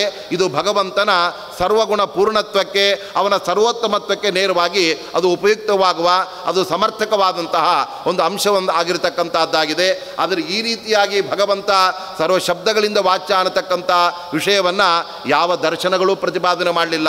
ಇದಕ್ಕೆ ವಿರುದ್ಧವಾಗಿ ಅದ್ವೈತ ಸಿದ್ಧಾಂತವೇ ಭಗವಂತ ಯಾವ ಶಬ್ದಗಳಿಂದಲೂ ಕೂಡ ಅವನು ವಾಚ್ಯನೇ ಅಲ್ಲ. ಎಂಬುದಾಗಿ ಸರ್ವ ಶಬ್ದಗಳಿಂದ ಅವನು ಅವಾಚ್ಯನಾಗಿದ್ದಾನೆ ಎಂಬುದಾಗಿ ಭಗವಂತನಿಗೆ ಶಬ್ದ ವಾಚ್ಯತ್ವನೇ ಇಲ್ಲ. ಅವನು ಲಕ್ಷಣೆ ಅಂದರೆ ಅವನು ಕೇವಲ ವೇದದ ತಾತ್ಪರ್ಯ ಅರ್ಥ ಆಗ್ಬೋದು ಎಲ್ಲೋ ಒಂದು ಕಡೆ, ಆದರೆ ಒಂದೊಂದು ಶಬ್ದವೂ ಕೂಡ ಆ ಭಗವಂತನನ್ನು ಹೇಳೋದಿಲ್ಲ ಎಂಬುದಾಗಿ ಆ ಭಗವಂತನನ್ನು ಸರ್ವ ಶಬ್ದಗಳಿಂದ ವಾಚ್ಯ ಅನ್ನತಕ್ಕಂಥ ಅಂಶವನ್ನೇ ಅವರು ಅಲ್ಲಿಗಳೆದು ಬಿಡುತ್ತಾರೆ ಉದಾಹರಣೆಗೆ ನೋಡಿ, ನಾವು ಗಂಗೆಯಲ್ಲಿ ಒಂದು ಹಳ್ಳಿ ಇದೆ ಅಂತ ವ್ಯವಹಾರ ಮಾಡ್ತಾ ಇರ್ತೀವಿ. ಗಂಗಾಯಾಮ್ ಘೋಷಃ ಅಂತ. ಆದರೆ ಗಂಗೆ ಅಂದರೆ ಗಂಗಾ ಪ್ರವಾಹ. ಪ್ರವಾಹದಲ್ಲಿ ಒಂದು ಹಳ್ಳಿ ಹೇಗೆ ಇರೋದಕ್ಕೆ ಸಾಧ್ಯ ಆಗುತ್ತೆ? ಆ ಪ್ರವಾಹದ ರಭಸಕ್ಕೆ ಹಳ್ಳಿ ಕೊಚ್ಕೊಂಡು ಹೋಗಿಬಿಡುತ್ತಷ್ಟೇ ಆದರೂ ಕೂಡ ವ್ಯವಹಾರ ಮಾಡುವಾಗ ಗಂಗೆಯಲ್ಲಿ ಹಳ್ಳಿ ಇದೆ ಅಂತ ಹೇಳಿದರೆ ಅದಕ್ಕೆ ಅಭಿಪ್ರಾಯವೇನು? ಗಂಗೆಯ ತೀರದಲ್ಲಿ ಹಳ್ಳಿ ಇದೆ ಅಂತ ಅರ್ಥ. ಹಾಗಾದರೆ ನೀವು ತೀರದಲ್ಲಿ ಹಳ್ಳಿ ಇದೆ ಅಂತ ಹೇಳಬೋದಲ್ಲ ಗಂಗೆಯಲ್ಲಿ ಅಂತ ಯಾಕೆ ಹೇಳಿ ನಮ್ಮನ್ನು ಸುಮ್ಮನೆ ಭ್ರಮೆಗೆ ಮೋಹಕಗೊಳಗೊಳಿಸ್ತೀರಾ ಅಂತ ಕೇಳಿದರೆ, ಗಂಗೆಯಲ್ಲೇ ಹಳ್ಳಿ ಇದೆ ಅಂತ ಹೇಳುವ ವ್ಯಕ್ತಿಯ ಒಂದು ಆಂತರ್ಯ ಏನು ಅಂತಂದರೆ, ನೋಡಿ ಗಂಗೆಗೆ ಸಮೀಪದಲ್ಲಿ ಹಳ್ಳಿ ಇದೆ. ಆದ್ದರಿಂದ ಅಷ್ಟೊಂದು ಪಾವಿತ್ರ್ಯ ಎಲ್ಲ ಇದೆ ಅಂತ ಹೇಳುವ ಉದ್ದೇಶ ಆತನ ಮನಸ್ಸಿನಲ್ಲಿ. ಅದೇ ತರಹ ಗಂಗಾ ತೀರದ ಆ ಹತ್ತಿರದಲ್ಲಿರ್ತಕ್ಕಂಥ ಹಳ್ಳಿ, ಅದರಲ್ಲಿ ಶೈತ್ಯ ಅಂದರೆ ತಣ್ಣನೆಯ ಒಂದು ವಾತಾವರಣ, ಒಂದು ಪಾವಿತ್ರ್ಯದ ವಾತಾವರಣ, ಅದೆಲ್ಲ ಇದೆ ಅಂತ ತಿಳಿಸೋದಕ್ಕೋಸ್ಕರ ಗಂಗೆಯಲ್ಲೇ ಹಳ್ಳಿ ಇದೆ ಅನ್ನೋ ಮಾತಿಗೆ ಗಂಗೆಯ ತೀರದಲ್ಲಿ ಹಳ್ಳಿ ಇದೆ ಅಂತ ನಾವು ಹೇಗೆ ಅರ್ಥೈಸಿಕೊಳ್ತೇವೆ ಅದರಂತೆ ಭಗವಂತ ಈ ಶಬ್ದದಿಂದ ವಾಚ್ಯನಾಗಿದ್ದಾನೆ ಅಂದರೆ ಅವನಲ್ಲಿ ವಾಚ್ಯತ್ವವೇ ಇಲ್ಲ ಅನ್ನತಕ್ಕಂಥದ್ದು ಅದ್ವೈತ ಸಿದ್ಧಾಂತ. ಏಕೆಂದರೆ ಭಗವಂತ ಯಾವುದಾದ್ರೂ ಒಂದು ಶಬ್ದದಿಂದ ವಾಚ್ಯನಾದರೆ ಅವನಲ್ಲಿ ಅದರಿಂದ ಒಂದು ಗುಣ ಬಂದುಬಿಡತ್ತೆ. ನಾವು ಯಾವ ಗುಣವನ್ನು ದೇವರಲ್ಲಿ ಒಪ್ಪೋದಿಲ್ಲ. ಅವನನ್ನು ನಿರ್ಗುಣ ಅಂತ ವೇದ ಹೇಳ್ತಾ ಇರೋದ್ರಿಂದ ಅವನಿಗೆ ನಿರ್ಗುಣತ್ವ ಹೇಳಬೇಕಾಗಿತ್ತು ಅದಕ್ಕೋಸ್ಕರ ಯಾವ ಶಬ್ದವೂ ಕೂಡ ಭಗವಂತನನ್ನು ಅದು ಶಕ್ತಿವೃತ್ತಿಯಿಂದ ಹೇಳೋದಿಲ್ಲ. ಅದಕ್ಕೆ ಬದಲಾಗಿ ಗಂಗೆಯಲ್ಲಿ ಹಳ್ಳಿ ಇದೆ ಅನ್ನೋದಕ್ಕೆ ಗಂಗಾ ತೀರದಲ್ಲಿ ಹಳ್ಳಿ ಇದೆ ಅಂತ ಹೇಗೆ ಅರ್ಥವೋ, ಅದರಂತೆ ಭಗವಂತ ಶಬ್ದದಿಂದ ವಾಚ್ಯನಾಗಿದ್ದಾನೆ ಅಂದರೆ ಆ ಶಬ್ದದಿಂದ ಲಕ್ಷ್ಯನಾಗಿದ್ದಾನೆ ಅಂದರೆ ಅದಕ್ಕೆ ಹತ್ತಿರದಲ್ಲಿದ್ದಾನೆ, ಆದರೆ ಯಾವ ಶಬ್ದಗಳು ದೇವರನ್ನು ಹೇಳೋದೇ ಇಲ್ಲ ಎಂಬುದಾಗಿ ಸಕಲ ಶಬ್ದವೂ ಕೂಡ ದೇವರನ್ನು ಅಲ್ಲಿ ಹೇಳೋದೇ ಇಲ್ಲ ಎಂಬುದಾಗಿ ಸರ್ವ ಶಬ್ದ ಅವಾಚ್ಯ ಅನ್ನತಕ್ಕಂತಹ ಅಂಶವನ್ನು ಅದ್ವೈತ ಸಿದ್ಧಾಂತ ಹೇಳಿದಾಗ ಅದಕ್ಕೆ ಬ್ರಹ್ಮಸೂತ್ರಗಳಲ್ಲೇ ವೇದದಲ್ಲಿ ಬ್ರಹ್ಮಸೂತ್ರಗಳಲ್ಲಿ ಬಹಳ ಸ್ಪಷ್ಟವಾಗಿ ವೇದವ್ಯಾಸ ದೇವರು ಹೇಳ್ತಾ ಇದ್ದಾರೆ. ನೋಡಿ, ಭಗವಂತ ಯಾವ ಶಬ್ದದಿಂದಲೂ ವಾಚ್ಯ ಅಲ್ಲ ಅಂತ ನಾವು ಹೇಳಿಕ್ಕೆ ಬರೋದಿಲ್ಲ. ಯಾಕೆ ಅಂದರೆ ಈಚ್ಛತೆ ನ ಅಶಬ್ದಂ ಅಂತ ಒಂದು ಮಾತನ್ನು ಅವ್ರು ಹೇಳ್ತಾರೆ. ನಾವು ಭಗವಂತನನ್ನು ತಿಳಿಯೋದಕ್ಕೆ ಅವಕಾಶ ಇತ್ತು. ವೇದೋಪನಿಷತ್ತುಗಳಿಂದ ಭಗವಂತನ ಜ್ಞಾನವನ್ನು ನಾವು ಪಡೆಯೋದಕ್ಕೆ ಸಾಧ್ಯ ಇರುವಾಗ ಅವನನ್ನು ಕಣ್ಣಿನಿಂದ ತಿಳಿಕೆ, ತಿಳ್ಕೊಳ್ಳೋದಕ್ಕೆ ನಮಗೆ ಸಾಧ್ಯ ಇಲ್ಲ. ಉಪನಿಷತ್ತುಗಳು ಹೇಳ್ತಾ ಇವೆ, ಭಗವಂತ ಔಪನಿಷದ ಪುರುಷ ಅಂತ ಹೇಳಿಬಿಟ್ಟು. ಅವನನ್ನು ಶಬ್ದಗಳಿಂದ, ವಾಂಗ್ಮಯ ಪ್ರಪಂಚದಿಂದ ದೇವರನ್ನು ನಾವು ತಿಳಿಯಬೇಕೇ ಹೊರತಾಗಿ ಅದಕ್ಕಿಂತ ಮುಂಚೆ ನಾವು ಯಾವ ಉಪಾಸನೆ ಮಾಡದೆ ಅಥವಾ ಮನನ ಮಾಡದೆ ಅವನನ್ನು ಕಣ್ಣಿನಿಂದ ನಾವು ತಿಳಿಯೋದಕ್ಕೆ ಅಲ್ಲಿ ಸಾಧ್ಯ ಇಲ್ಲ ಅಂತ ಹೇಳಿದಾಗ ಭಗವಂತನನ್ನು ವಚನ ವೃತ್ತಿಯಿಂದ ಈ ಮಾತುಗಳಿಂದ, ಶಬ್ದಗಳಿಂದಲೇ ನಾವು ತಿಳ್ಕೊಳ್ಬೇಕು. ತಿಳ್ಕೊಳ್ಬೇಕಾಗಿದ್ದರೆ ಅವನು ಆಯಾಯ ಶಬ್ದದಿಂದ ಅವನು ವಾಚ್ಯನಾಗಿರಬೇಕು. ಆದ್ದರಿಂದ ಭಗವಂತ ಯಾವ ಶಬ್ದದಿಂದಲೂ ವಾಚ್ಯನ ಅಲ್ಲ ಅಂತೇಳಿಬಿಟ್ರೆ ಆವಾಗ ದೇವರನ್ನು ತಿಳ್ಕೊಳ್ಳಿಕ್ಕೆ ಸಾಧ್ಯ ಇಲ್ಲ ಅಂತಾಗತ್ತೆ ಆದರೆ ವೇದಗಳೇ ಬಹಳ ಸ್ಪಷ್ಟವಾಗಿ ಹೇಳ್ತಾ ಇದೆ, ತಮೇವಂ ಜಾನಥ ಆತ್ಮಾನಂ ಅನ್ಯಾಹ ವಾಚಃ. ಕೊಂಡ್ರೆ ಭಗವಂತನನ್ನೇ ತಿಳಿಯಬೇಕು. ಯಾವುದೋ ಅಸಾರವಾದ ವಸ್ತುವನ್ನು ನಾವು ತಿಳ್ಕೊಂಡ್ರೆ ಪ್ರಯೋಜನವಿಲ್ಲ. ಈ ಜಗತ್ತಿನಲ್ಲಿ ಸಾರವಾದ, ಸ್ವತಂತ್ರವಾದ ವಸ್ತುವನ್ನೇ ಮೊದಲು ನೀವು ತಿಳ್ಕೊಳ್ಳಿ. ಅನಂತರದಲ್ಲಿ ಉಳಿದ ಅಸಾರ ವಸ್ತುವನ್ನು ಕೂಡ ನೀವು ತಿಳಿಯೋದಕ್ಕೆ ಅಲ್ಲಿ ಸಾಧ್ಯ ಇದೆ ಅಂತ ಹೇಳುವಾಗ ಆ ಭಗವಂತನಿಗೆ ಜ್ಞೇಯತ್ವವನ್ನು ಅವನು ಎಲ್ಲರಿಂದಲೂ ಕೂಡ ತಿಳಿಯಲು ಯೋಗ್ಯನಾಗಿದ್ದಾನೆ ಅನ್ನುವ ಅಂಶವನ್ನೇ ವೇದಗಳು ಹೇಳ್ತಾ ಇರುವಾಗ ಅದಕ್ಕೆ ವಿರುದ್ಧವಾಗಿ ಭಗವಂತ ಅವನು ಜ್ಞೇಯನೇ ಅಲ್ಲ. ಆದ್ದರಿಂದಲೇ ಅವನು ವಾಚ್ಯನೇ ಅಲ್ಲ. ಅವನನ್ನು ಯಾವ ಶಬ್ದಗಳು ಕೂಡ ಹೇಳೋದಿಲ್ಲ ಎಂಬುದಾಗಿ ಅದ್ವೈತ ಸಿದ್ಧಾಂತ ಮಂಡನೆ ಮಾಡಿದಾಗ ಅದಕ್ಕೆ ಶ್ರೀಮದ್ ಆಚಾರ್ಯ ಹೇಳ್ತಾ ಇದ್ದಾರೆ, ಆ ರೀತಿಯಾಗಿ ಸೂತ್ರಗಳಿಗೆ ಮತ್ತು ವೇದಗಳಿಗೆ ವಿರುದ್ಧವಾಗಿ ಭಗವಂತ ಅವಾಚ್ಯನಾಗಿದ್ದಾನೆ, ಅವನನ್ನು ಯಾವ ಶಬ್ದಗಳು ಹೇಳ್ತಾ ಇಲ್ಲ ಅಂತ ನಾವು ಅರ್ಥ ಮಾಡಲಿಕ್ಕೆ ಬರೋದಿಲ್ಲ. ಹಾಗಾದರೆ ಅವನನ್ನು ತಿಳಿಲಿಕ್ಕೆ ಸಾಧ್ಯ ಇಲ್ಲ. ಅಂತ ಆಗತ್ತೆ ಯಾಕಂದರೆ ಅಲ್ಲ, ಅಸಾರವಾದ ವಸ್ತು ಜಗತ್ತಿನಲ್ಲಿ ಯಾವುದು ಕೂಡ ಇಲ್ಲವೇ? ಇಲ್ಲ. ಯಾಕೆಂದರೆ ಭಗವಂತ ಅದು ಏಕೆಂದರೆ ನೋಡಿ, ಈಗ ಜಗತ್ ಸೃಷ್ಟಿಯನ್ನೇ ತೆಗೆದುಕೊಳ್ಳೋಣ. ಅದರಲ್ಲಿ ನಮಗೆ ನಮ್ಮ ದೃಷ್ಟಿಯಲ್ಲಿ ಇದು ಸಾರ, ಇದು ಅಸಾರ ಅಂತ ನಾವು ವಿಂಗಡಣೆ ಮಾಡ್ಬೋದು. ಆದರೆ ಬೇರೆ ಬೇರೆ ಕೆಲವು ವಸ್ತುಗಳನ್ನು ಬಳಸಿಕೊಳ್ಳುವ, ಅದರಿಂದ ಪ್ರಯೋಜನೆಯನ್ನು ಪಡೆಯತಕ್ಕಂತಹ ಜೀವರಾಶಿಗಳು ಕೂಡ ಇರುತ್ತೆ. ಉದಾಹರಣೆಗೆ ಮುಳ್ಳುಗಳೆಲ್ಲ ಇದೆ ಅಂದ್ಕೊಳ್ಳಿ ಈ ಮುಳ್ಳು ನಮಗೆಲ್ಲ ಅಸಾರ್. ಅಯ್ಯೋ, ಅದು ಕಾಲಿಗೆ ಚುಚ್ಚಿಬಿಡುತ್ತೆ ಅದು ಬೇಡಪ್ಪ. ಯಾಕಾದರೂ ಭಗವಂತ ಈ ಮುಳ್ಳುಗಳನ್ನೆಲ್ಲ ಅಸಾರವಾದದ್ದನ್ನು ಸೃಷ್ಟಿ ಮಾಡಿದಾನೆ ಅಂತ ನಮಗೆ ಅನಿಸ್ಬೋದು. ಆದರೆ ಈ ಒಂಟೆ ಆ ಪ್ರಾಣಿಗೆ ಮುಳ್ಳು ಅಂದರೆ ಬಹಳ ಇಷ್ಟ ಅಂತ. ಅದಕ್ಕೆ ನೀವು ಸಿಹಿಯಾದ ಬಾಳೆಹಣ್ಣನ್ನು ತುಳಿದು ಒಂಟೆ ಬಾಯಿಗೆ ಇಡೋದಕ್ಕೆ ಹೋದರೆ ಅದನ್ನು ತೆಗೆದು ಬಿಸಾಕಿ ಬಿಡತ್ತೆ, ಎಲ್ಲಿ ಮುಳ್ಳಿದೆ ಅಂತ ಹುಡ್ಕೊಂಡೋಗಿ ಆ ಮುಳ್ಳನ್ನು ತಿಂತಾಯಿದೆ ಹಾಗಾದರೆ ಈ ಭಗವಂತನ ಸೃಷ್ಟಿಯಲ್ಲಿ ಅಸಾರವಾದದ್ದು ಅಥವಾ ಅಪ್ರಯೋಜಕವಾದದ್ದು ಪ್ರಯೋಜನವೇ ಇಲ್ಲದೇ ಇರತಕ್ಕಂಥದ್ದು ಅಂತ ಯಾವುದು ಕೂಡ ಇಲ್ಲವೇ ಇಲ್ಲ. ಆಯಾಯ ಬೇರೆ ಬೇರೆ ಜೀವರಾಶಿಗಳಿಗೆ ಅದು ಅತ್ಯಂತ ಪ್ರಿಯವಾಗುವಂಥದ್ದೇ ಆಗಿರುತ್ತೆ. ಅದು ಅಸಾರ ಅಂತ ಯಾವತ್ತೂ ಆಗೋದಕ್ಕೆ ಅಲ್ಲಿ ಸಾಧ್ಯವೇ ಇಲ್ಲ. ಅದರಿಂದ ಭಗವಂತ ಈ ಎಲ್ಲ ಜೀವರಾಶಿಗಳು ದೇವರನ್ನು ಅಲ್ಲಿ ತಿಳ್ಕೊಳ್ಳಲಿ ಅಂತ ವೇದಗಳ ಆ ಒಂದು ಆವಿಷ್ಕಾರ ಮಾಡಿದಾಗ ಅವುಗಳಿಂದಲೇ ಭಗವಂತನನ್ನು ನಾವು ತಿಳ್ಕೊಳ್ಬೇಕು. ಈ ಕಣ್ಣಿನಿಂದ, ಕಿವಿಗಳಿಂದ ನಾವು ದೇವರನ್ನು ಅಲ್ಲಿ ತಿಳ್ಕೊಳ್ಳಿಕ್ಕೆ ಆಗೋದಿಲ್ಲ. ಉಪನಿಷತ್ತೇ ಭಾಳ ಸ್ಪಷ್ಟವಾಗಿ ಹೇಳ್ತಾ ಇತ್ತು ನೇಂದ್ರಿಯಾಣಿ ನಾನುಮಾನಂ ವೇದಾಹ್ಯೇವ ಏನಂ ವೇದಯಂತಿ ಅಂತ ಒಂದು ವಚನ ಇತ್ತು ನಾವು ಕಣ್ಣಿನಿಂದ ಭಗವಂತನನ್ನು ತಿಳ್ಕೊಳ್ಬೇಕು ಅಂತ ಹೊರಟ್ರೆ ಈ ಕಣ್ಣುಗಳೆಲ್ಲ ಪ್ರಾಕೃತ. ಪ್ರಾಕೃತ ದೇಹದಲ್ಲಿರುವ ಪ್ರಾಕೃತವಾದ ಈ ಕಣ್ಣುಗಳಿಗೆ ಅಪ್ರಾಕೃತನಾದ ಭಗವಂತನನ್ನು ತಿಳ್ಕೊಳ್ಳಿಕ್ಕೆ ಸಾಧ್ಯ ಇಲ್ಲ. ಒಂದು ವೇಳೆ ನಾವು ಕಣ್ಣಿನಿಂದ ದೇವರನ್ನು ತಿಳ್ಕೊಳ್ಳಬಹುದು ಅಂತ ಹೇಳಿದರೆ, ಈ ಚಾರ್ವಾಕರು ಹೇಗೆ ಕಣ್ಣಿನಿಂದಲೇ ನಾವು ದೇಹದ ಒಳಗಡೆ ಇರುವ ಆತ್ಮನನ್ನು ತಿಳ್ಕೊಳ್ಳಬಹುದು ಅಂತ ಹೇಳ್ತಾರೆ, ಆ ರೀತಿ ಆಗಿಬಿಡತ್ತೆ. ಯಾಕೆಂದರೆ, ಆ ಆತ್ಮ ಇಂದ್ರಿಯ ಅತೀತನಾಗಿದ್ದಾನೆ. ಬಾಕ್ಯ ಕಣ್ಣುಗಳಿಗೆ ಆತ್ಮನ ಅಸ್ತಿತ್ವ ಗೊತ್ತಾಗೋದಿಲ್ಲ. ಆದ್ದರಿಂದ ಅದಕ್ಕೆ ನಾವು ದುರ್ಬಲವಾದ ಆ ಕಣ್ಣನ್ನು ಪ್ರಮಾಣವಾಗಿ ಆಧರಿಸಿದರೆ ಅದು ಹೇಗೆ ಅನುಪಯುಕ್ತವಾಗಿ ಬಿಡತ್ತೆ? ಅದರಂತೆ ಭಗವಂತನನ್ನು ನಾವು ತಿಳಿಯಬೇಕಾಗಿದ್ದರೆ ಈ ಕಣ್ಣಾಗಲಿ, ಕಿವಿಗಳಾಗಲಿ, ಇವೆಲ್ಲ ಭೌತಿಕ ಇಂದ್ರಿಯಗಳಾದ್ದರಿಂದ ಅವುಗಳಿಂದ ತಿಳಿಲಿಕ್ಕೆ ಆಗೋದಿಲ್ಲ ತಿಳಿದರೂ ಕೂಡ ದೇವರಲ್ಲಿ ದೋಷ ಇದೆ ಅಂತಲೇ ತಿಳ್ಕೊಂಡ್ಬಿಡುವ ಒಂದು ಅಪಾಯ ಇದೆ. ಈಗ ರಾಮಕೃಷ್ಣ ಅವತಾರಗಳೆಲ್ಲ ಕೃತ, ತ್ರೇತ, ದ್ವಾಪರ ಇತ್ಯಾದಿಗಳೆಲ್ಲ ನಡೆದಾಗ ಆ ಕಾಲದಲ್ಲಿದ್ದ ಜನಗಳೆಲ್ಲ ತಮ್ಮ ಕಣ್ಣಿನಿಂದ ಆ ಭಗವದ್ ರೂಪವನ್ನು ನೋಡಿದ್ದಾರೆ. ಆದರೆ ಆ ದೇವರಲ್ಲಿ ದೋಷಗಳನ್ನೇ ತಿಳ್ಕೊಂಡ್ಬಿಟ್ಟಿದ್ದಾರೆ. ರಾಮಾವತಾರದ ಸಂದರ್ಭದಲ್ಲಿ ತ್ರೇತಾಯುಗದಲ್ಲಿದ್ದ ಜನಗಳೆಲ್ಲ ಅವರಿಗೆ ಭಗವಂತನ ಬಗ್ಗೆ ಸರಿಯಾದಂತಹ ಆ ತಿಳುವಳಿಕೆಯನ್ನು ಪಡೆಯಲಿಕ್ಕೆ ಆಗಲಿಲ್ಲ. ರಾಮದೇವರು ಕೂಡ ಪಾಪ ಹೆಂಡತಿ ಸೀತೆಯನ್ನು ಕಳ್ಕೊಂಡು ವನವಾಸದ ದುಃಖವನ್ನು ಅನುಭವಿಸಿಬಿಟ್ರಲ್ಲ. ಅಂತ ದೇವರಲ್ಲಿ ಆ ದುಃಖಗಳನ್ನೇ ಅವನಲ್ಲಿ ಇಲ್ಲದೇ ಇರತಕ್ಕಂತಹ ಒಂದು ವಿಪರೀತವಾದಂಥ ಅರಿವನ್ನು ಅಲ್ಲಿ ಪಡೀತಕ್ಕಂತಹ ಸಾಧ್ಯತೆ ಇದೆ. ಆದರೆ ವೇದಗಳು ಬಹಳ ಸ್ಪಷ್ಟವಾಗಿ ಹೇಳುತ್ತೆ, ನೋಡಿ ಭಗವಂತ ಅವತಾರಗಳಲ್ಲಿ ಮಾತ್ರ ದುಃಖ, ದೋಷ ಇವುಗಳನ್ನು ಪ್ರಕಟಣೆ ಮಾಡ್ತಾನೆ. ಆದರೆ ಎಲ್ಲಾದರೂ ಮೂಲ ರೂಪದಲ್ಲಿ ಭಗವಂತ ಅದ್ದಿದ್ದಿದೆಯಾ ಅಥವಾ ತನ್ನ ಹೆಂಡತಿಯನ್ನು ಕಳ್ಕೊಂಡಿದ್ದಿದೆಯಾ? ಅದರ ಅವತಾರದ ಸಂದರ್ಭದಲ್ಲಿ ಭಗವಂತನಿಗೆ ಅನೇಕ ಜವಾಬ್ದಾರಿಗಳಿರುತ್ತೆ. ಕೆಲವು ಋಷಿಗಳೇ, ಒಬ್ಬ ಭೃಗು ಋಷಿಗಳೇ, ಅವರು ಭಗವಂತನಿಗೆ ಶಾಪ ಕೊಟ್ಬಿಟ್ಟಿದ್ದಾರಂತೆ. ಆ ಭೃಗು ಋಷಿಗಳ ಹೆಂಡತಿ ಮರಣವನ್ನು ಪಡೆದಾಗ ಅದರಿಂದ ಭಗವಂತನೇ ನನ್ನ ಹೆಂಡತಿಯ ಸಾವಿಗೆ ಕಾರಣ. ಆದ್ದರಿಂದ ನನಗೆ ಈ ದೇವರು ನನ್ನ ಹೆಂಡತಿಯ ವಿಯೋಗವನ್ನು ಅಲ್ಲಿ ಉಂಟು ಮಾಡಿದ್ದಾನೆ. ಆದ್ದರಿಂದ ಭಗವಂತನಿಗೂ ಕೂಡ ಅವನ ಪತ್ನಿಯ ವಿಯೋಗವಾಗಲಿ ಅಂತ ಶಾಪ ಕೊಟ್ಬಿಟ್ರು. ಆವಾಗ ಭಗವಂತ ಅದನ್ನು ನಡೆಸಬೇಕಾಯ್ತು.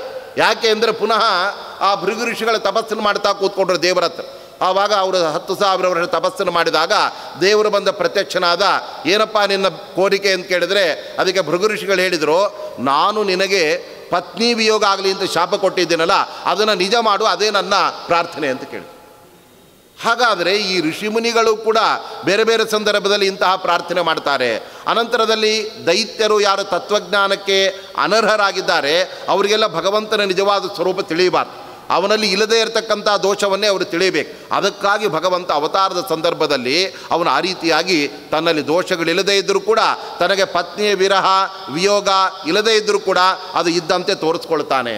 ಅದರ ಇನ್ನೊಂದು ಗುರಿ ಏನು ಅಂತ ಹೇಳಿದರೆ ತನ್ನ ಭಕ್ತರಾದ ದೇವತೆಗಳಿಗೆ ಸೇವೆ ಮಾಡುವುದಕ್ಕೆ ಒಂದು ಅವಕಾಶವನ್ನು ಭಗವಂತ ಕಲ್ಪಿಸಿಕೊಟ್ಟಂತೆ ಆಗುತ್ತೆ ಇಲ್ಲ ಅಂದರೆ ಭಗವಂತನಿಗೆ ಸೀತಾದೇವಿ ವಿರೋಹವೇ ಇಲ್ಲ ರಾಮದೇವರಿಗೆ, ಹಾಗಾದರೆ ಹನುಮಂತ ದೇವರ ಅವತಾರ ಯಾಕೆ?